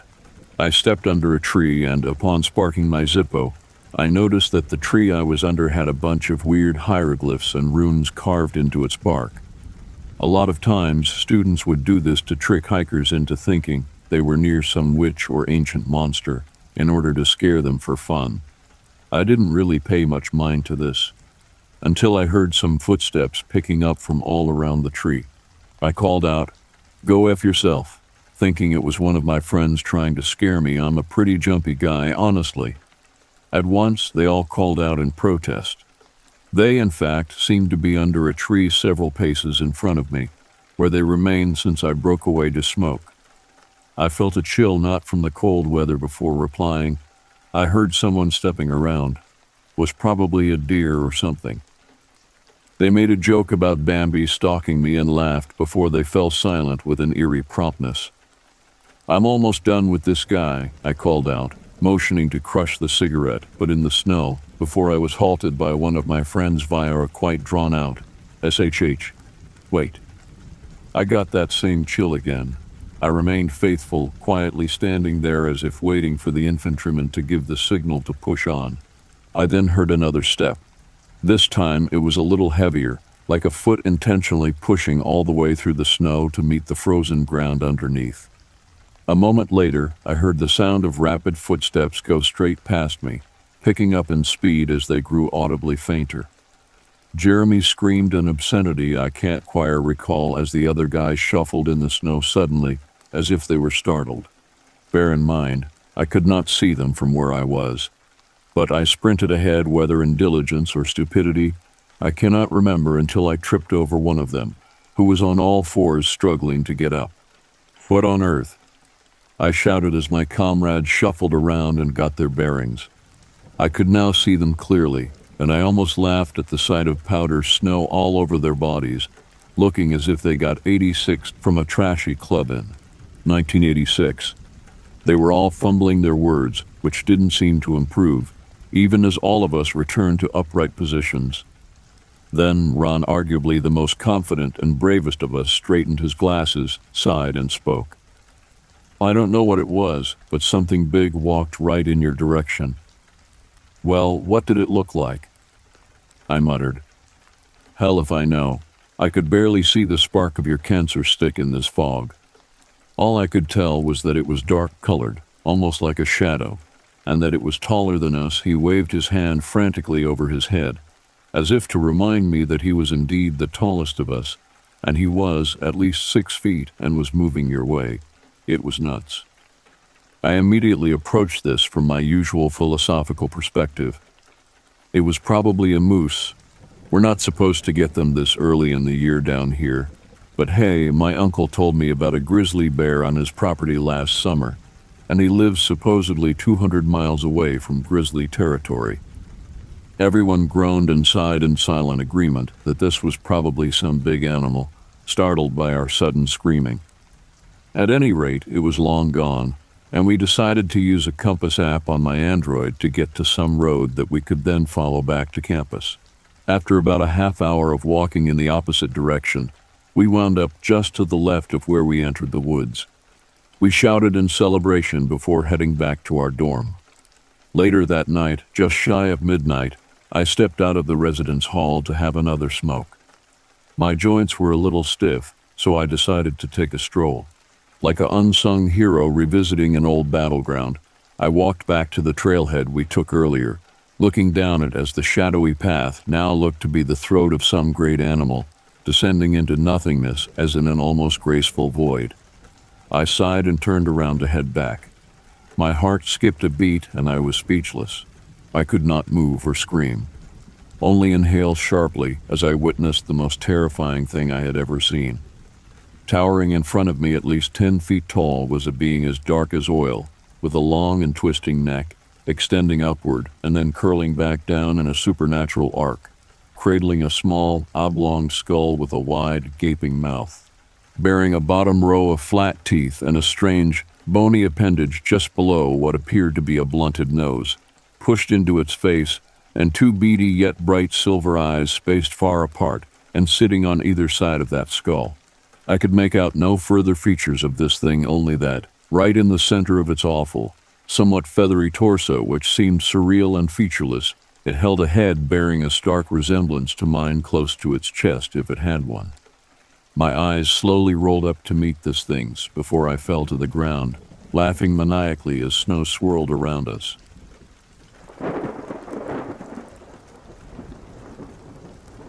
So me and my friend, you'll name them Red, went down to a bridge that was over a river. The area was pretty shaded and trees was covering the bridge.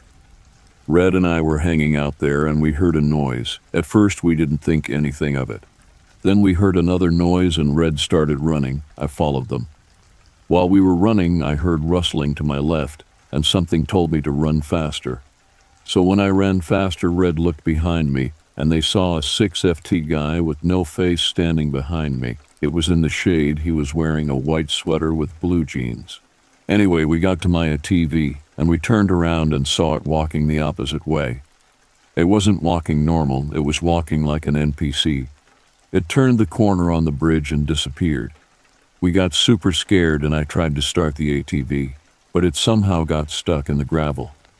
It was so stuck we had to have help by a random stranger. We eventually got home, but later we decided to go to a cemetery at night. The cemetery wasn't even a mile away from the bridge. I had another friend come over, I'll name them Blue, and we drove over to the cemetery. Once we pulled into the cemetery, everything was just gray, and the sun had just barely went down. I saw some cloud of smoke right across from me and I had the urge to go further into the cemetery. All of the sudden, I just pressed the gas W my hand. And when I drove past the cemetery, I felt this feeling of determination, and I had this thought that wasn't mine, and it was, I have to save them.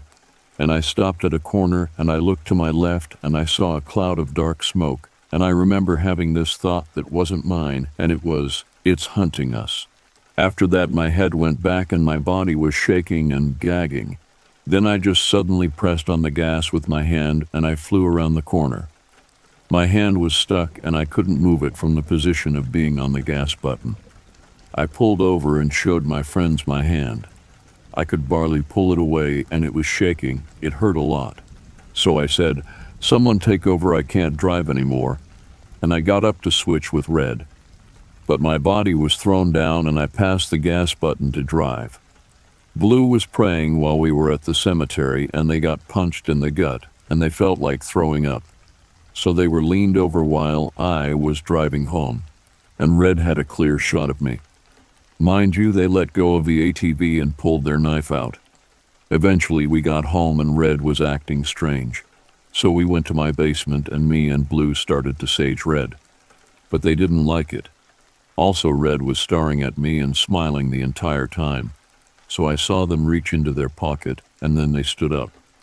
I looked away for a second, and their knife was halfway open, and they were staring at me.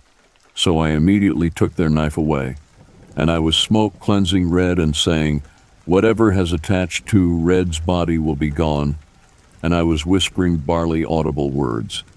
I opened my eyes, and Red started chuckling at me. It didn't sound like their normal laugh, so I got my friend and we put a blessing on her to get that out of her. And we both still feel called to go back to the place. What do we do?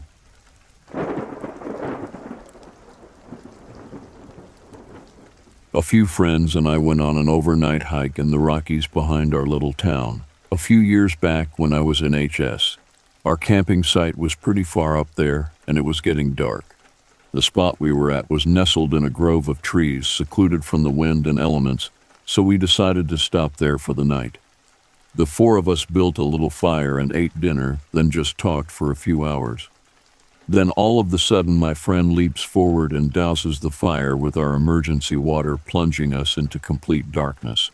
Needless to say, the rest of us were pretty pissed, as there was no reason for him to do this. He quickly shushes us, and we realize he is absolutely terrified. Like so scared he couldn't even speak or move. The rest of us managed to get a few word out of him, and he tells us to look up on the ridge where we should have been camping at. It was pretty far up, so it was kind of hard to see at first, but that sight will haunt me for the rest of my life. There was a fire, a big one, like a bonfire sort of thing. Around the fire were several figures moving in a slow circle. They were humanoid, but not quite, and in they had arms and legs like people, but something just seemed different about them that I can't really explain. Almost like the limbs were too long and skinny or something, but maybe not. Anyway, these figures just moved around the fire in a really slow circle over and over again. My one friend claims he could hear them singing something, but I don't remember anything. Importantly, there was one standing off to the side, a little ways leaning with his arm on a tree branch above his head. It really creeped us out, but we were able to sleep it off. We figured it was a scout troop having a camp or something. Morning came and we finished off our hike to the peak and on our way down, we passed the place we saw the figures and decided to check out the camp. It was completely deserted. It was obvious that there had been a fire and there were footprints everywhere. Inside the fire pit was a small mound of charred animal bones, probably chipmunk, and a pile of four or five rodent skulls that had been burned. Creepy, right? Then we look over at where the one figure was standing. Blood. Not a lot, but enough to be of concern or anything but enough to be creepy. Then we see the tree branch he was casually leaning against. It was well over any of our heads, and I'm over six foot. That would mean that in order for the figure to lean against it like he was, he would need to be at least seven feet tall. Needless to say, we got off that mountain very fast, and I have never been up there again. We called the Fish and Wildlife Rangers and told them what we saw. They said it was probably just a bunch of kids messing around and not to worry about it. It might have been just that, and we let our imaginations run wild, but all four of us swear to this day we all saw the same thing, and it didn't look like a bunch of kids in the dark. I don't believe in ghosts or the supernatural, but those mountains still scare the shit out of me, and I will never go back there again.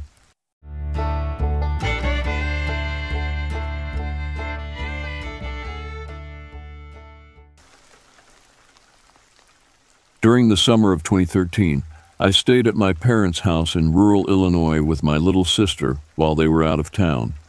She was in my mid teens at the time, and I was early 20s. We are both very interested in the paranormal and have discussed what else could be out there. This particular night, we were sitting in the dark in the living room. I turned all the lights off and we watched the lightning bugs outside the large windows, just casually talking. Out of nowhere, there was an unbelievably huge burst of orange light from outside. It lit up the entire downstairs as if I had turned the lights on. I'm talking about a nuclear explosion bright. My immediate response was thinking that our house, or the neighbor's house we were facing, had caught on fire. We both ran out the side door, and that was it. We both have zero memory of what was outside, how long we were there, or what we did after returning in. We simply woke up the next morning in our beds, and oddly, it took us both a few days to remember anything had happened. It wasn't too long after this that my sister started having a memory or a vision of us walking out the side door like we did that night and seeing a large green orb at eye level in the middle of the driveway. That was it. That's all that happened, but it still bothers me today. We both found it especially odd because we had such a fascination with the idea of otherworldly life. If something happened to us, we would discuss it. We also don't understand how we could have seen that amount of light in the living room. We walked outside and then casually returned inside with no explanation for what had happened, only to not remember it until days later. If we were both sound of mind, it wouldn't have occurred like that. About a year after this happened, I decided to read the book Communion for the first time and came across one of the author's first experiences of being abducted. He recalled waking up to a huge orange glow coming through every window and being absolutely positive the house was on fire. I put down the book at that point and still haven't finished it because of the extreme unease it gave me. I recall my exact same reaction. I now believe that we were both abducted. I wonder if either of us will eventually recall more of the incident. That is what I fear most.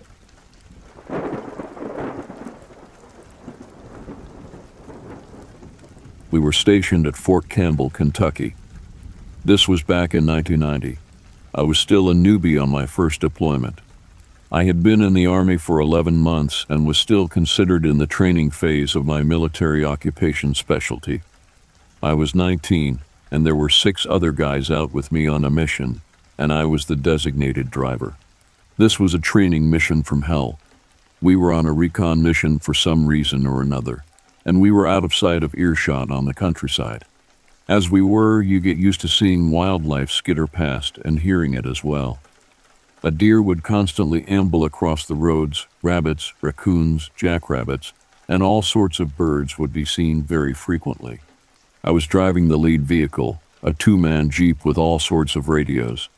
They were not much for comfort, but they sure got the job done. I drove us down a long stretch of road, and in my rearview mirror, I noticed something large and black run off to the left side of the road into the woods. Once we got past where it had vanished, I thought nothing of it other than that it must have been a deer or something.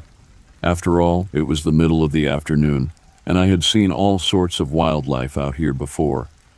It wasn't until the sun had started to set again that I now noticed it. I looked out to my right and saw a large black figure, maybe 500 feet away. It was shambling out of the woods and into a clearing. It was roughly man sized, but it did not walk like a man. It walked slowly and awkwardly, almost as if it were hurt. It was hunched over, and the way it moved its arms, I couldn't quite see what its hands were like. All I could make out was that it was black, but had no discernible clothing or anything on it. It also appeared to be extremely muscular. I sat there in awe for a moment, pondering what it could be. I decided to pull over and find out. I stopped the Jeep, turning off the engine. There were no other vehicles in sight, so I thought it was safe to get out. I pulled my rifle off my shoulder and slung it. I grabbed my field radio, switching it on. King to all of us, hey, is anyone else seeing this? I whispered. All the radios buzzed with static for a moment, and then one of my squad mates answered, Yeah, I don't know, but you should see it too.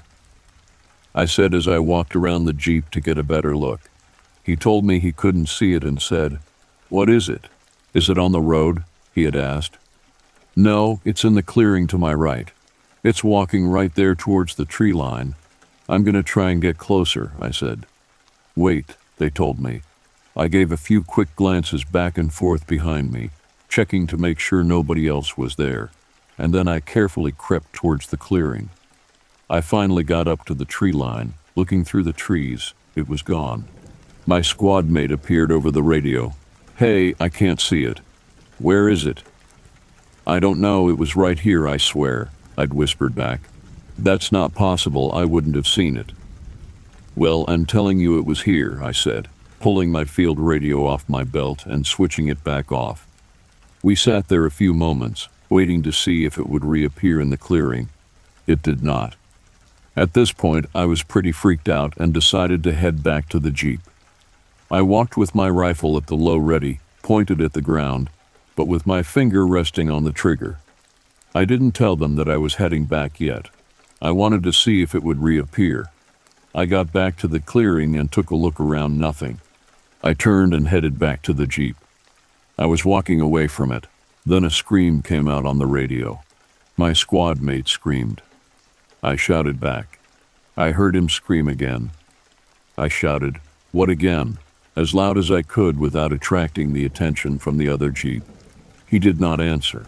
I asked what was going on. So I ran back to the Jeep and jumping in, I didn't see the radio man anymore. What's going on and where did everybody go? he had asked. Before I could answer, there was a crashing through the trees. We both jumped out of the Jeep to see what it was. What we saw will haunt us for the rest of our lives. It was my squad mate. He was screaming, running straight toward us. He was bleeding from multiple gashes, and he had this black thing chasing him. Whatever the black thing was, it wasn't human. It was a mangled, twisted black figure moving like a man, but not quite human. My buddy from the Jeep and I stood there frozen in horror, watching our friend run towards us. We didn't know what to do. When my buddy saw that our friend was being chased by this thing, he turned and ran back. I just reacted, grabbed my rifle, pointed it directly at this being, I pulled the trigger, firing a spray of bullets on him. I don't know if it hit him or not, but he stopped, and when I stopped shooting, he then began to advance on me. I was about to take another burst at him when my friend jumped in the Jeep and shouted for me to get in. I jumped in the Jeep beside him after getting out to shoot at this thing, and he throws it into reverse and punches the gas. The tire spun, gravel flying everywhere as he tried to get us turned around for a quick exit. He finally got us pointed in the right direction, and we went flying back out the way we came. I looked behind us for any sign of that thing, but I couldn't see it anymore. As we drove on, I could hear my friend whimpering next to me. He had his hand pressed against the deep, oozing gash in his right arm. I reached into the first aid kit and pulled out a field dressing. Here, put this against the wound. He took it, pressed it against the injury, but not before I saw his fingers were raw and red. He had somehow gotten that gash without realizing it when he was running from the creature. We can now hear this thing chasing our Jeep in the woods. It was paralleling us from inside the woods, but just outside of you. We could hear it crashing around. This wasn't possible. I had shot it several times and it should have been heard badly enough to be able to not keep up with us. After a few more minutes, the crashing in the woods stopped, and my buddy grabbed my shoulder and said, Don't look back. So what do I do? I immediately turned around and looked back behind us. There were several of these beings running after us in the woods. I looked back at my buddy, and he was white as a ghost. I was trying to make out just how many there were, easily over four or five and they shouted, What are they? I don't know, but we're not sticking around to find out. He nodded, and we kept going as fast as the Jeep would allow us. The radio man is screaming, Guys, what is that? And we shouted, We don't know, guys. We heard the gunshots. What is going on out there? My buddy overcame his fear for a moment, trying to explain what he saw as best as he could. I looked back and saw that those things were now running through the woods beside us, keeping pace with our Jeep. This was unreal. I don't know how long we drove, but eventually the Jeep stopped in front of a guard shack at the same kind of base. I couldn't make out the insignia in the dark, but it did not look like anything I'd ever seen before. We got out of the Jeep and ran into the shack. The two guards manning the gate had their weapons pointed at us. What is the emergency? My buddy stumbled, trying to catch his breath, and explained. We. we were headed to the front gate, and. and there's a thing chasing us. We were still in training, and we ran into something in the woods. Please help us. This thing chased us all the way here. The guards looked at each other, and then the closest one to my friend pulled him over to a corner for a private conversation. I couldn't hear what was being said, but I could see my friend's face turn from fear to anger. The other guy approached me. I'm sorry, son. We can't let you in. I was taken aback by his words. What? I just saw my friend get attacked and chased by something, and you're not going to let us in. The guard's voice is firm but calm. Truth is, you're not authorized to be here. I'm afraid we can't let you in. I was getting frustrated. Nobody comes into this space unauthorized. You have to understand that. Now please get back in your Jeep. I was dumbfounded. What's going on here? This is part of our base. The guard spoke in a firm and resolute tone. I understand you're upset. Now please go. I looked back at my friend, who had a very defeated look on his face. I know it was pointless to argue, and we had gotten out of there quickly, doing our best to evade whatever chased us far into the woods. Everything had gone quiet, and we hadn't heard much of anything now. We eventually did make it back, and we were informed that what we had encountered was a part of our training mission. No further questions were allowed. The portion and part of our base that we tried to enter into did not allow trainees in, including us, which was a strict part of a military facility. Everything was coordinated for us to encounter these beings by the military as some sort of training operation. These are things I didn't learn until much later on. I went on to serve for a few more years and got out. I lost contact with all my buddies.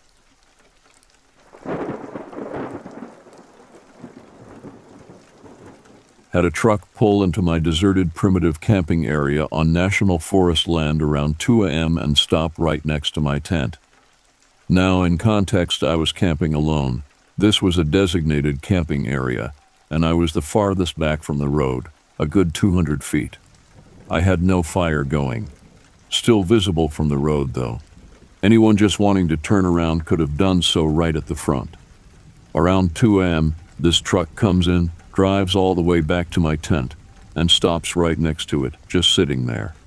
I could tell the type of vehicle by the silhouette its headlights cast through my tent.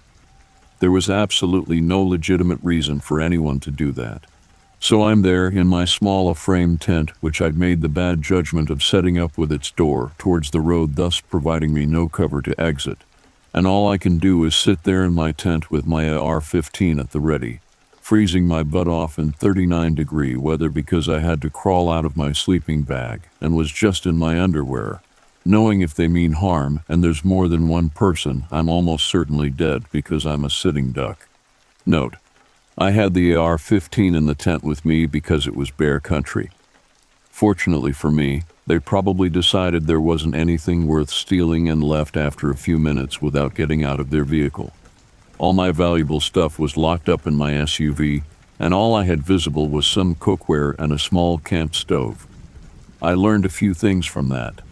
One, get a bigger tent that I can more easily move around in and it's quicker to get out of. And two, always set your tent up with the door facing away from the road to provide some degree of concealment if you need to exit. Remember, folks, not all predators walk on four legs. Some walk on two.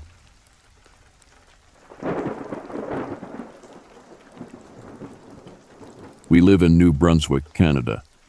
On July 22, 2023, in the early morning, we were awoken by our six month old daughter crying. We heard this on the baby monitor in our room. As usual, we got up to check on him, me to grab her and console her, my wife to prepare a bottle for her. I picked her up, and as I left the nursery, I looked down the stairs to my right, through the garage window. I saw a tall, thin, black entity. I know I saw it, and as I looked at it, it darted inhumanly fast out of sight. I walked to the room with our daughter. My wife had the bottle ready, and I tried to get the dog to leave the room with me. He was too scared to leave the room, which is unusual. I eventually coaxed him to follow me. As soon as we left the room, the dog tucked its tail between its legs and headed to the desk in the living room. It stayed under and trembled. I would dismiss this as my mind playing tricks on me. However, when I was 19 and I am 36 now, I had an experience with a tall, slender black being, which has haunted me ever since. I don't talk about it as people judge quickly and won't believe. I used to live and work in Saskatoon, Saskatchewan at Walmart. I also worked at a popular bar or restaurant. Needless to say, I worked a shift in the city until midnight at Walmart. The store was four city blocks from the residence where I was staying. If you have ever worked there, you punch your SIN number into a computer at the back of the store. This starts your shift. I punched out after the shift and walked home. It was dark in the city, but with the lights you could see very well. I walked south two blocks and then cut through the parking lot. When I reached the sidewalk again, I noticed an eerie lack of light, took two steps, and heard a metallic sound. I looked around feeling strange and noticed the city lights were missing. I could not see the store. There was only blackness. Then I heard a metallic cling twice from behind me. I spun around quickly to see an alien gray in color with a triangular face and black eyes. I was not panicked and said hi. The alien quickly shot out of its arm and touched me with a finger on my chest. I was not scared at this point. As the finger touched me, there was a strong electric charge I could feel. This charge paralyzed me, and I felt forced fear. Every nerve ending in my body reverberated with this shock. The fear I experienced did not come from me, but felt forced, and it was 1,000 times stiflerable than any I had ever endured. The fear was so intense that my heart pounded instantly. I had to focus quickly and steadily on slowing my pulse, as I didn't think my heart could sustain my life otherwise. The next thing I knew, I woke up on a metallic rectangular table with six, seven to eight foot tall, thin black beings standing around me. And oh my God, one had its hand inside me. It felt like it tore me apart. The pain I remember and the forced fear are still there. I am paralyzed, trying desperately to move. The entity towering above me passed through my entire body. It felt like it tore me apart and put me back together, unimaginable pain. I blacked out. The next thing I know, I wake up. It's all black and I'm on a metallic floor. I hear clinging to the floor. I see four of these tall black entities. They kick me, hurting me more. I try to move, but I'm still paralyzed, fear running through every nerve ending in my body. I can't fight it. It's almost electrical. I feel like I'm going to die here. I don't want to die here. No, dear God, no. I grow angry as I get beat. I look in my mind and struggle with all I have trying to move to do anything. I force a little movement. I raise an arm, but my body is still isn't cooperating. It takes everything I have, but damn it, I'm dying here fighting. The rest of me cannot move as I swing, and I hit one of the entities, causing the fear to become even stronger and the paralysis to become even worse. My body becomes limp, trapped in my body, scared and unable to get up, I black out. The only thing I remember next is waking up in bed at home, trembling and convulsing uncontrollably, completely paralyzed and suffering the forced fear. I want to move, but I can't. The pain in my heart is unbearable. My heart beats like it's about to explode. My body feels like it's vibrating from my heart beating so fast. My focus is on preventing death with all I have. Slowing down my heart helps me calm it. I try to move, but it feels like four hours. God only knows. I'm still paralyzed, still in that damned fear. Finally, I broke free. I walk upstairs. My mom looks shocked to see me, explaining to me I was absent for three days. Thought I was at a friend's. In my mind, I missed no time. I thought I had a nightmare. I told myself I had a dream. Not so lucky. I checked the computer at work and it showed I was there. No one at work recalls me being there.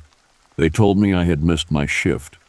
I had no memory for three days. What has the power to do this? The only thing that proved I wasn't insane was the computer.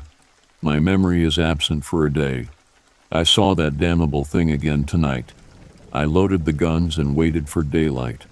I last saw it when I was 19, and I am now 36 years old. My memories of it used to be so awful that I'd remember pieces over the years. I would wake up paralyzed in sweat and terrified. I fought the fear in my mind until I could remember and not enter into convulsions, still function, and still move. I would have dismissed what I witnessed tonight, but I've seen it before. No one believes, no one cares. Not sure why they came back, but I felt I needed to write this.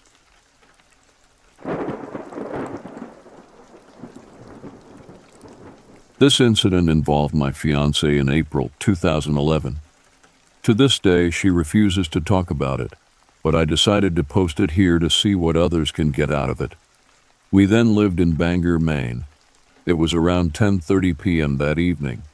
I was on a late shift at work, and she was home alone with our cat in our apartment. She said she read while the cat slept on her lap. A moment later, the cat stood up and stared intently at the outside door. He then mewled and scampered into the bedroom.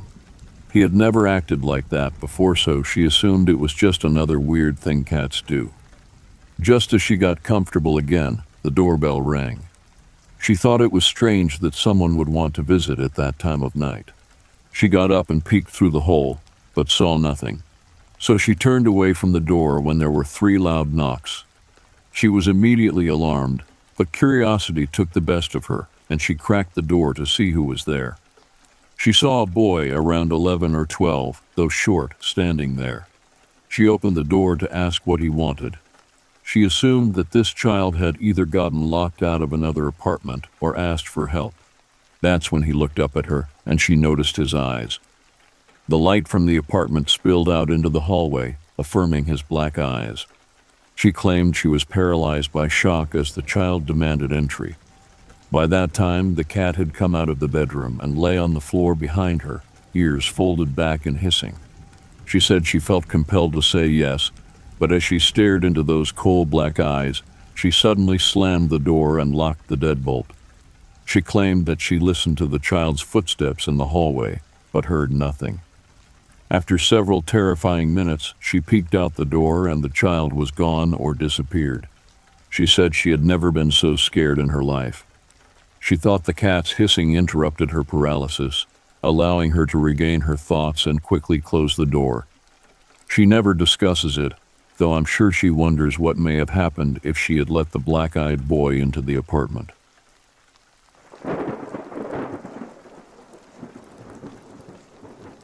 On August 14, 1986, I went for a morning walk at Cape Blanco Beach like any other day.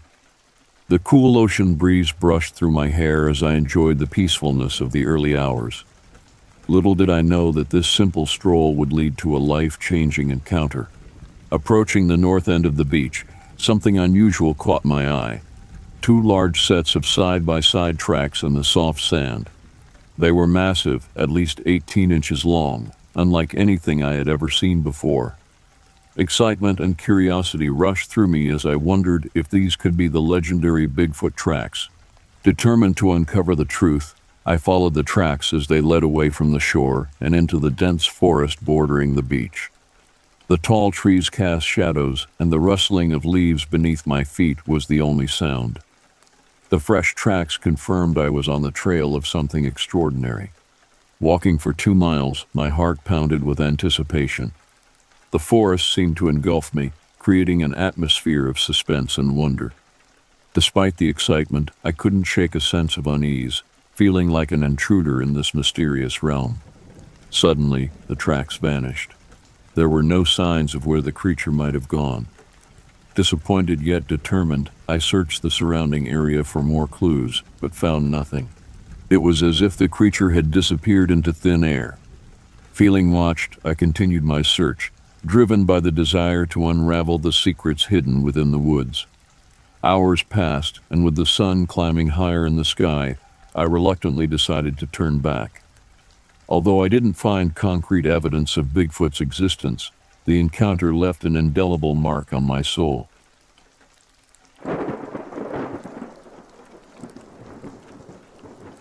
This occurred in Oakland, California in November 2016, where my wife's parents live. There had been several shootings in the area more than normal, and the funeral home on International BLVD had been getting a lot of business. My in laws were driving through Oakland at around 2 a.m. in the morning. My mother in law worked as a live and hospice nurse and only had a day or so off. She was coming back at 2 a.m. after having the evening off. While they were driving to her job, they saw a beautiful young woman standing on the corner next to the funeral home who was very well dressed. They saw her at the corner while they were stopped at the intersection and noticed that the woman smiled and then waved at them. They also noticed that her eyes were totally black. My in laws were frightened and drove away as fast as they could.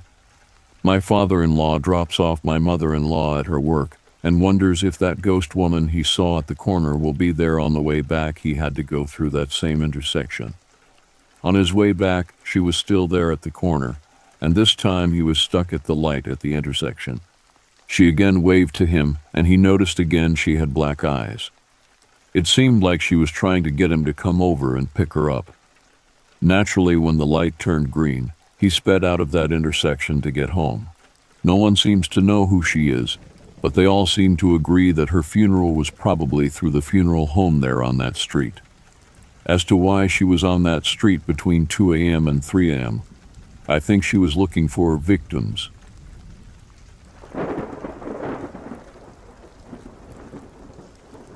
My older brother Mark disappeared when I was just seven. The last memory I have of him comes from a lazy Saturday afternoon in the summer of 2008.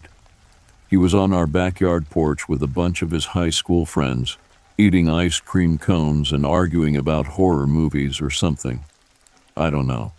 I never paid much attention to their conversations, but I do remember they were excited about going to their first real party later that night. I came outside to give Mark a gift, a charm bracelet I'd made for him from a series of strung together Lego blocks. For good luck, I told him. Mark looked at the bracelet. I'd scrawled letters on it in Sharpie, one letter per block. Together, they spelled out Mookie, my nickname for him since I was a toddler. Mark just laughed and pocketed the bracelet. Thanks, Smelly Ellie, he said, tousling my curly hair. I remember yelling at him and growing red faced. Then I ran back inside. Don't call me that, I yelled. Those were the last words I said to my brother. Mark and his friends were headed to the swamp soiree that night, a tradition at Bartram Forest High School. Each year, a group of popular seniors would throw a big end of the summer bash on the outskirts of the Okeechobee Swamp, a massive wilderness area in North Florida, about an hour from our home in suburban Jacksonville.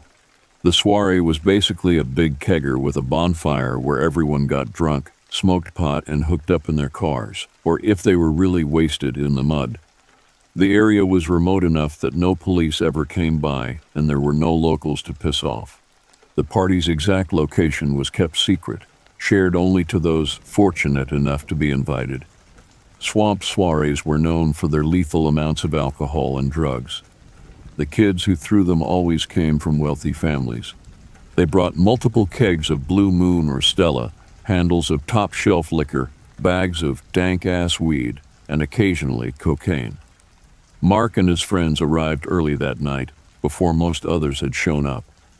According to his friends, some douchey baseball players pressured him into doing a 20 second keg stand. Shortly afterwards, Mark told his friends he was going to take a piss. He looked pale and sweaty, like he was going to throw up, his friend Eric told me years later. The last time anyone saw him, Mark was stumbling around in the darkened woods, headed deeper into the Okeechobee swamp. Two hours later, his friends drunkenly searched the same wilderness, calling out his name while sinking halfway into the mud. Two days later, my parents searched the area with local law enforcement. Two weeks later, a 400 person search and rescue operation combed the Okeechobee swamp, equipped with helicopters, John boats, and multiple foot teams. And two years later, the final official search ended, this time with cadaver dogs. No one ever found anything. It was like Mark had vanished from existence entirely. One moment there was a smart, sci fi obsessed teenager who wanted to design robots that explored distant planets, get married, and raise three, five kids while living in Miami. And the next moment, nothing. I never participated in an official search for my brother. I was too young. But years later, when I was in college at Florida State, I applied for a summer internship at the Okeechobee National Park, in part to look for anything that might have been missed. I'd always been interested in the wilderness, even though my parents never let me go camping or hiking after what happened. They wouldn't even let me play in the woods of our backyard. But that only made me long for such places even more. Mark loved being outdoors. Being in the wild was one of the only ways to keep his spirit alive. One of my earliest memories was of us hiking together on the trails at Guana River State Park. We'd run out ahead of our parents, till it was just us in a wide green world full of sprawling oaks, wide marshes, and endless mystery. As kids, we fantasized about running away to live in the woods, like a modern day version of Swiss Family Robinson. We'd never have to go to school. We could stay up as late as we wanted. It would be total freedom. When I went in for my interview at the Okeechobee Park headquarters, the head interp ranger George Craig saw my last name and raised his eyebrows. Ellie Brooks. I'm the little sister of Mark Brooks, I said, answering the question that was forming in his bald head. I helped lead the first search party for him, he explained. Really sad. I'm very sorry for your loss. Thanks. I told him I was using the internship as a way of coping with his loss. He hired me on the spot. The job was simple enough. Most of it consisted of manning the park museum or gift shop and talking to visitors. They would come in to browse the dioramas on swamp wildlife or peruse books on bird watching. The park received visitors from all over the country, but most were locals from the nearby town of Oconee Pop. 604. They were usually older folks who were retired, stopping by day after day just to talk. These locals had all sorts of crazy stories about the Okeechobee Swamp. It turned out Oconee was known for two things its massive paper mill, which gives the area a noxious fart smell when the wind blows north to south, and its town mascot, the infamous Swamp Rex. Oconee sits along the eastern edge of the Okeechobee Swamp. It's the only human civilization within 50 miles of the wilderness, as such, the town has experienced many unusual animal encounters over the years. Everyone who's ever owned a swimming pool there found a full-grown alligator floating in it at least once. Water moccasins sometimes coiled up on the town's roads to catch warmth in the winter. And locals love to say how the deer population vastly outnumbered the human one. But not all creatures could be explained. Since as far back as 1889, People in the area talked of an eight foot tall humanoid alligator that roamed the swamp at night, killing anyone who littered, polluted, or otherwise disrespected the natural ecosystem. They called it the swamp rex. Most reports stated the creature had glowing green eyes, a long, powerful tail that could break bone, and an elongated head full of spear like crocodilian teeth. The swamp rex would hunt at night, then returned to its mud hole somewhere deep inside the swamp where no one feared to tread. I first learned of the swamp rex from my older brother. As a child, Mark was fascinated with cryptozoology, the study of unverified creatures like Bigfoot and the Loch Ness Monster. He used to tell me campfire stories about the Rex when we were little, how it was millions of years old and would travel throughout the swamp via a series of underwater caves. The stories scared the bejessus out of me, but I loved every second of them. He told me once that he wanted to go on an expedition into the heart of the Okeechobee to find the creature. I was the only other person who wanted to go with him. It sounded like the perfect adventure, like something out of my favorite movie, Jurassic Park. Mark and I never went on that expedition. He lost interest in stupid fake monsters by the time he was a senior in high school.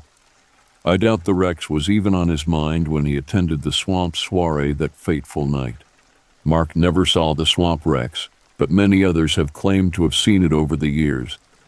Even though the legend dated back to newspaper articles in the late 1800s, it didn't really become known until March 1989, when Oconee sugarcane farmer Bill Howard noticed a tall man wandering the edge of his property late one autumn evening. Howard lived on a remote farm on the outskirts of town, right next to the Okogobe Swamp. If it was a man, he'd have to walk miles through mighty thick woods to get to my backyard, Howard told reporters. Keeping his eyes on the figure, the farmer grabbed his 12 gauge shotgun and a camcorder he'd recently got for Christmas. I knew right away something wasn't right about it. It stood like a man, but it had this big tail and it moved with a kind of animal grace, he said. Instead of aiming his gun, Howard raised his camcorder and shot the first known footage of the swamp rex. The creature only appeared for five seconds on screen before fleeing deeper into the woods. It was somewhat hard to make out, given the footage was shot from a hundred yards away and during twilight. But even with a low resolution 1980s era camera, people could see the figure had a tail and an elongated head, just like the swamp rex stories of old. Soon afterwards, Bill Howard's footage aired on the local news and gradually spread throughout the country via cryptozoological outlets like the Weekly World News and nascent internet forums on the paranormal. Eventually, the creature made its way into greater pop culture. In the 1990s, The X Files aired a Monster of the Week episode loosely based on the Rex, and the History Channel did a special on it for its Monster Quest series in 2009. Over time, tourists started showing up in Oconee, hoping to catch a glimpse of the creature themselves. Various gift shops opened, selling all kinds of Swamp Rex merchandise, from t shirts to mugs to alligator hats, even Swamp Rex IPA beer. People came from all over the country. Most were skeptics just looking for another wacky Florida story to tell, but some were true believers. Many even believed the Rex was involved in real life disappearances tied to the Okogobe area. Since 1980, over 50 people have gone missing in or around the swamp, including my older brother. The most famous case happened in the early 1990s when a wealthy land developer named Jerry Flagler vanished after witnesses last saw him in the Okogobe area with some business partners.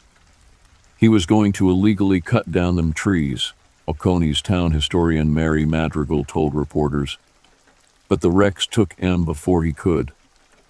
Like Mark, the authorities never found Flagler's body. By 2019, when I was working at the Okogobe National Park, the swamp rex had become a vital part of Oconee lore. A cartoon version of it was even featured on the town sign. Though they didn't know my relation, many of the locals who visited the park would tell me stories about what really happened to Mark Brooks. Most of them believed the swamp rex took my brother because he was disrespecting the land by being at the swamp soiree. How come it didn't take anyone else then? I would ask innocently. There were at least a hundred other kids at the party on the night of Mark's disappearance. The locals usually didn't have an answer to that question. Or they'd make up some bullshit excuse like, well, maybe he was the only one littering. The only drunken high school student who littered? Sure. My brother was officially pronounced dead on January 12, 2012. His cause of death was listed as probable drowning, the only theory which seemed reasonable. The area where Mark was last seen had a lot of deep pools of water connected to the Oconee River. Given his level of inebriation at the time, it was easy to assume he'd simply fallen into one such pool mark, never learned how to swim, and then his body was later washed out to sea via the river, which runs from the Okogobe swamp to the Gulf of Mexico. Even though I didn't believe the swamp rex theory like Mark before me, I'd come to a realization that the monsters were always a hoax or a case of mistaken identity. I still couldn't quite live with the drowning explanation. I needed something more. Another part of my job was something called roving, where I walked the trails and boardwalks of the Okogobe National Park, talking to visitors and looking for anything suspect. I did this a few times a week. I didn't carry a firearm. That was for law enforcement LE Rangers only, not interp ones, and definitely not someone doing a college internship. But I did have a high powered radio that could contact an LE in case of emergencies. And I always wore a flat hat, something you've probably seen from many Smokey the Bear ads so hikers could spot me a mile away. Sometimes they asked about wildlife and the history of the swamp. Most of the time, they came to complain about the lack of certain facilities like trash cans. I roved the wilderness of the Okagobi swamp for one reason. I was determined to find something, anything, any remnant of my brother's existence, even if it was just the stupid charm bracelet I'd given him the day he disappeared. I knew all the search parties before me had covered the same ground, but there were still plenty of stories of someone finding clues in the exact same location people had searched years earlier. It was possible. It had to be possible. A few months into my job, I was roving the North Boardwalk when I saw something out of the corner of my eye. A flash of movement. It looked like a lanky teenager. The figure dashed into the surrounding cypress trees, disappearing in an area that was usually flooded. I half expected the runaway to sink waist deep in mud, but this was late March and it hadn't rained in a month. The land was as dry as it would get, and the mysterious individual had moved expertly through it. I reached for my radio, planning to call in the incident. Someone's gone off the designated trail, I would have said. In most situations, this is something an Ranger would handle, but something made me put the radio down. A lingering feeling. That kid. Was it a boy? He almost looked. Mark. I should have taken it as a warning sign. I wish I'd just radioed the LE Ranger. Instead, I stepped off the boardwalk and started into the woods. There was nothing in the area where the figure was headed. My NPS map just showed a blank spot on the northern edge of the swamp. Because of its extreme density and uninhabitable terrain, almost half of the Okagobi is uncharted. Most of its land is hidden beneath four feet of murky brown water and another five feet of black muck, too difficult to walk through for a detailed survey. I looked for the kid in the cypress trees ahead, but couldn't see any movement. I did see the occasional shoe print in the mud, however. It looked like a Converse shoe. Definitely not something you'd want in such terrain. The intermittent tracks led deeper and deeper into the swamp. I came across one every 10 to 20 yards.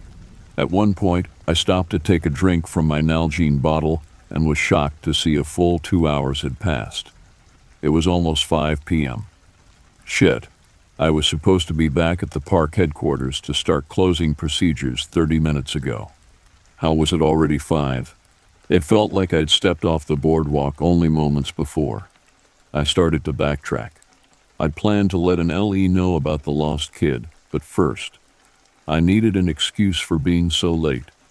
Was I helping a lost hiker find his way back to the trailhead? Did I have to clean up a bunch of trash on the boardwalk? I was about to radio headquarters when I felt my boots slip out from under me, and I tumbled down a small muddy hill, my body crashing through a dense thicket of palmetto bushes. Dazed, I struggled to my feet, wiping off as much dirt as I could. My green slacks and gray collared shirt had turned black from muck. My flat hat was crushed. My radio was cracked and unusable, and my cell phone was caked in mud.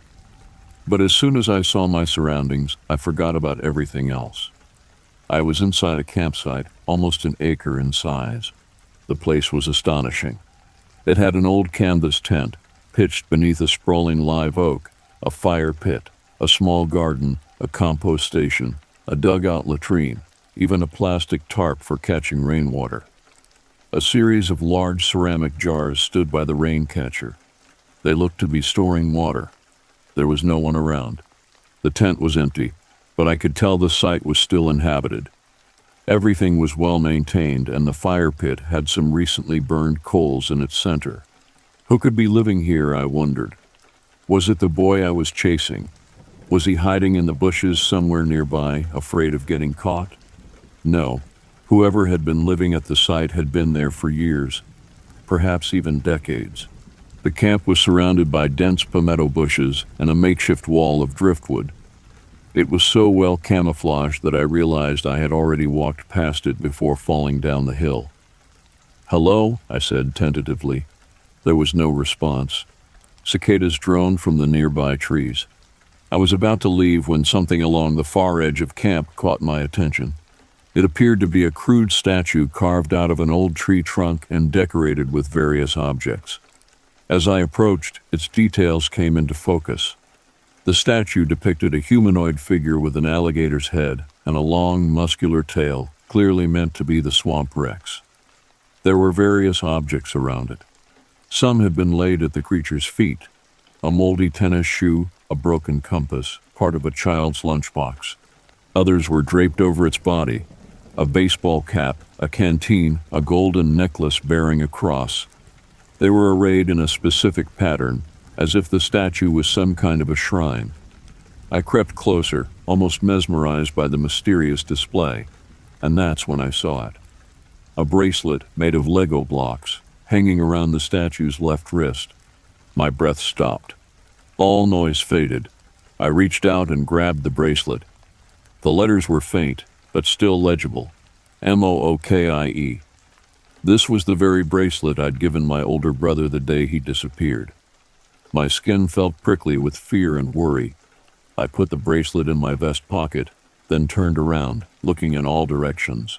Mark. There was no response. The campsite was perfectly still. My eyes scanned the tent, the garden, the compost heap, the latrine, the Amael figure, hidden in shadow, standing at the edge of the woods. Motionless, I gasped. How long had he been there? It was too dark to make out the man's features. Could it be Mark? Somehow I already knew the answer. There was a loud hiss. Then, very slowly, the figure stepped into the light. A six foot tall man, mid to late fifties, with a muscular frame and scraggly gray hair. A hermit. His wiry body was covered in dirt, mud, and bug bites, and he was completely naked. The hermit stared at me with bloodshot eyes, his expression unreadable. Angry, scared, confused, my stomach wrenched with fear. Every alarm bell in my brain was ringing simultaneously. S, so sorry, sorry, I stammered, backing away with my hands up. I didn't mean to. I can leave. The hermit opened his cracked lips to reveal rotten, yellowed teeth. He hissed, producing a noise so low and resonant it sounded like a giant snake. I jumped back, falling on my behind at the foot of the shrine. No, please. But the hermit didn't attack. Instead, he grabbed something from within the tent. Something big. It looked like a pile of clothes. When he brought it out, I nearly screamed. It was a suit made of thick reptilian skin. The hermit had stitched together pieces of alligator hide to form a swamp rex costume. It had long sleeves that ended in clawed gloves, a hood made from a gator skull, webbed feet, even a tail. The monster suit was ugly as sin, but also intricate, terrifying, mesmerizing. The hermit started to put it on. His movements were slow and deliberate, like this was all part of some sort of ritual. What, what are you? I crawled backwards, keeping my eyes on him the whole time. My fingers brushed against a piece of driftwood, a potential weapon. The hermit stepped forward, wearing his swamp rex suit. He looked like a mutant from the bowels of hell. The man hissed again, his voice amplified by the gator skull. It was louder, more guttural. I grabbed hold of the driftwood piece and stood up. The branch was small, but solid like a billy club. I raised it up defensively, and Mark's bracelet fell from my vest pocket. The hermit stared at the bracelet and hissed again. He took a step back. Cautiously, I picked up the bracelet with my free hand and held it out so the hermit could see it more clearly. It hung loosely from my fingertips. Where? Where did you get this? No response. Do you know Mark Brooks? I asked, trying to sound a bit more confident. With his gloved hand, the hermit pointed to the ceramic jars standing beneath the rain catcher, the ones that held water. I don't understand. Can you can you speak? The hermit didn't say anything. He walked over to the jars, his reptilian hands brushing across the top of each one until He tipped the last jar over. Crash. A gallon of slimy liquid poured out, along with a pile of big white sticks. No, not sticks. Bones. Inside the jar was a complete human skeleton, its bones all mashed together. OF, I stammered. This was his answer. I was looking at Mark, spilled across the ground like some carnivore's leftovers. No, no, no. Hiss. The hermit raised his gloved hands. His eyes shined within the gator's skull. My whole body shook. Sweat poured down my face. This was it. The end. I had my answer, and I would pay the ultimate price for it. Until I saw him. The boy who had run from the boardwalk so many hours ago. The one I'd been following. It was Mark, still 18 years old and wearing the same faded jeans and long sleeved shirt from the night he disappeared. He looked at me, then pointed at something lying against the tent. A shotgun. I threw the driftwood at the hermit as hard as I could, then sprinted for the tent. Five feet, three, two, one. I grabbed the weapon with shaky hands. There was just enough time to turn bang. Blood splattered my face. The blast threw the hermit backwards. His six foot tall body fell to the ground with a thud. It all happened so fast, I didn't even realize I'd pulled the trigger until afterwards. Smoke curled from the barrel of the shotgun. I let out a sharp cry that was half cough, half sob. The hermit lay motionless a few feet away. I pumped the shotgun a second time as I stepped towards him, finger still on the trigger. He never got up. Afterwards, I looked all over camp for my Mark's ghost, calling out his name. But aside from that split second moment before the attack, I never saw my brother again. To this day, I wonder if I ever saw him at all. Perhaps it was all nerves. Perhaps my brother was just a manifestation of the my intense fear upon meeting the real Swamp Rex. Looking back, I'm struck by how similar the hermit's campsite was to the Swiss Family Robinson style home mark, and I had imagined we'd live in when we were little. Aside from the obscene shrine and jars, of course, the police cordoned off the entire site the next day. Aside from Mark, they found the remains of 12 other people, even wealthy land developer Jerry Flagler. News vans came from all over. Word of the Swamp Rex's discovery spread internationally. Most importantly, our family finally had a proper burial for my brother that provided some much needed closure. My parents and I wept for weeks on end. So far, the police have not been able to identify the hermit, even after analyzing dental records, completing a DNA profile, and sending his picture to various news outlets. There have been numerous theories, of course. Some said the hermit was Michael Jenkins, an escaped mental patient who vanished from a South Florida asylum 40 years ago, though the photos didn't bear much resemblance. Others claimed various serial killers who had never been caught, like the Zodiac. Some even believed the hermit was planted by the federal government to cover up the existence of the real creature. But no one came forward with any solid evidence. Nothing verifiable. The hermit has remained as mysterious as the swamp creature he had pretended to be for so many years. I've since moved clear across the country. I currently reside in the vast metropolis of Los Angeles. I don't go hiking anymore. I never go camping. I hardly ever even leave the house. But each night I dream. I dream that I'm still deep in that swamp, alone in my cold reptilian skin. I am the hermit, and the thing that worries me the most, I enjoy it.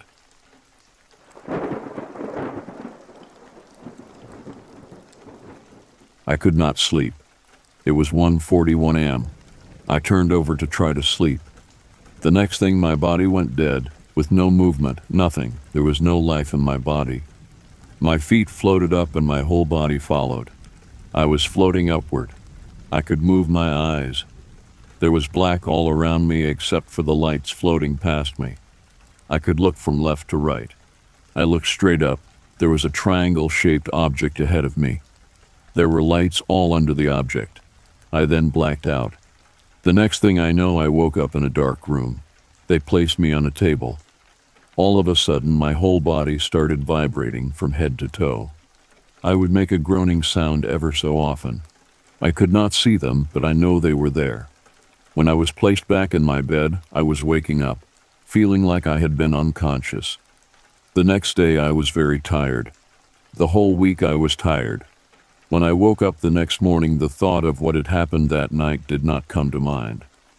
I got in the shower and started praying. The incident came back to me. It was so strong that it stopped my prayers. I was speechless. When they take you, you have no control. Sometimes you can see what is going on and sometimes you can't. Ever since I can remember, I have been abducted many times before. They are just blocked out. Only in these last dozen years I can remember some things about the abductions. I cannot remember the day or time, but this abduction was the one that changed me forever. This happened in 2014. I was watching television, and the next second the power went off all over the house. My TV has to reboot, so I didn't want to wait and I just turned it off. The next thing I know, I was floating out of my room. When they were taking me, it was well lit. I was lying on a table, and they were standing on either side of me. There seemed to be one on the right side of my head as I was floating out from where they had taken me.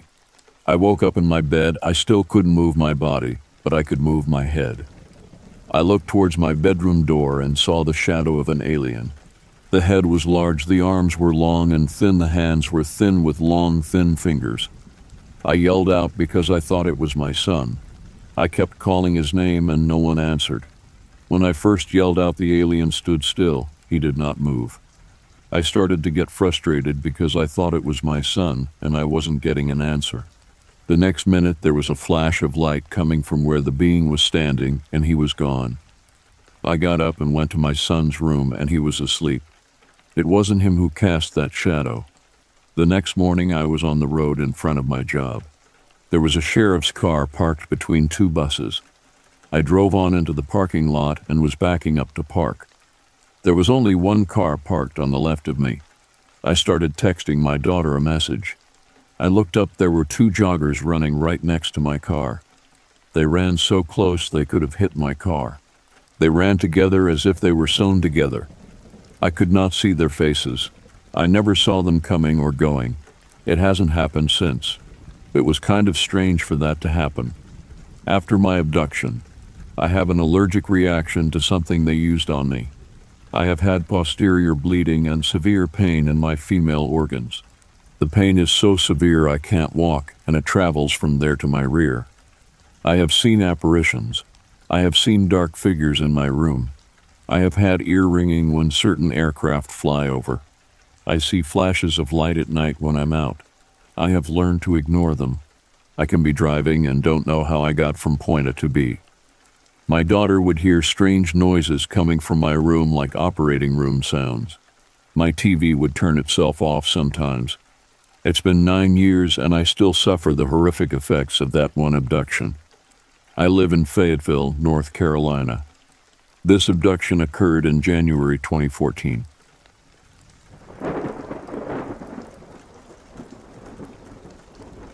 Honestly, I never got a conclusive identity on whatever it was I saw, so sharing it actually might help with that. This was about a year old, late August 2022, and I was fishing on Cold Lake, right on the border between Alberta and Saskatchewan. I had one of my most productive fishing days ever there and kept a few walleye to cook for dinner since I bought the tags for them. I tented on the north end of the lake, east of the North Bay cabin, since I don't really like campgrounds much. It was probably about 5 6 p.m. when I set up camp and got the fire going. I do remember I still fished from the bank for an hour or so until I eventually got dinner going.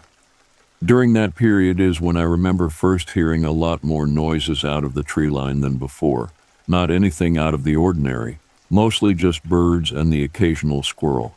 Eventually, I started to get the feeling of something watching me, which actually got me a bit more worried than what I'd usually be as my first thought, albeit not the most rational one, was a cougar. I know what it feels like to be watched by one. It's uncomfortable to say the absolute least, and a terrifyingly surreal experience at worst. Each time I look back, there wasn't anything watching me that I saw. Eventually, I lost interest and began supper, which is when the sounds of the forest largely stopped. Things felt cold dead. The forest felt dead. Now, even more on guard about a possible cougar or bear, I moved away from the tree line and closer to the shore, as there was a bit of flat ground forming, almost like a beach. I didn't have a firearm at the time, but I did have a can of bear spray on my chest, which moved to my hand. There still wasn't anything visible through the tree line, but the faint sound of what could be footsteps cut through the silence of the forest. In all reality, it was less footsteps and more the sound of an animal moving through the brush that was heard. Weirdly enough, it sort of relaxed me, as a cougar likely wouldn't be so carelessly loud. At least it did for a moment. Aware that I was rather vulnerable in my position, I did begin backing up my stuff. Thankfully, my tent wasn't set up yet back in my bag and got near the kayak. What I saw when I looked back up at the tree line, not even 20 feet in front of me, however, was likely the most terrifying, yet uniquely beautiful moment of my life. Standing upright, half behind a tree, was a tall, maybe seven feet, dark humanoid thing, vaguely like a Sasquatch, but much thinner closer to the proportions of a human covered in reddish brown hair or fur. All I could see was its body above the waist, though its arms seemed to extend further down. I couldn't make out much features, though the eyes appeared vaguely yellowish. Oddly enough. After the initial shock wore off, it didn't seem threatening. If anything, I want to say it was. Curious. What I'm about to say next defies all common logic, all human reason. But as someone standing face to face with what could have been death itself, I raised my arm in the air. The best way I could describe this scene is if anybody has ever watched the fantastic Mr. Fox, the scene at the end with the wolf. That's the closest thing I could compare it to. The creature didn't come any closer, nor did it make a sound, but instead oddly attempted to mimic me, raising its long, thin arm in the air before setting it back down and walking back into the tree line. What I saw that day, the creature I witnessed, led me to reevaluate my opinions towards these animals, that they weren't just animals. These are intelligent creatures, and the time it took to kayak back to civilization immediately afterwards, and the time since then, has only reaffirmed my belief in that. Of all the encounters people have had with what could be a Sasquatch, I'm glad mine became almost a positive memory. Whatever I saw that day left an impression on me, human, Sasquatch, whatever. Thanks for listening, Horror Cowboys. See you tomorrow at the same time.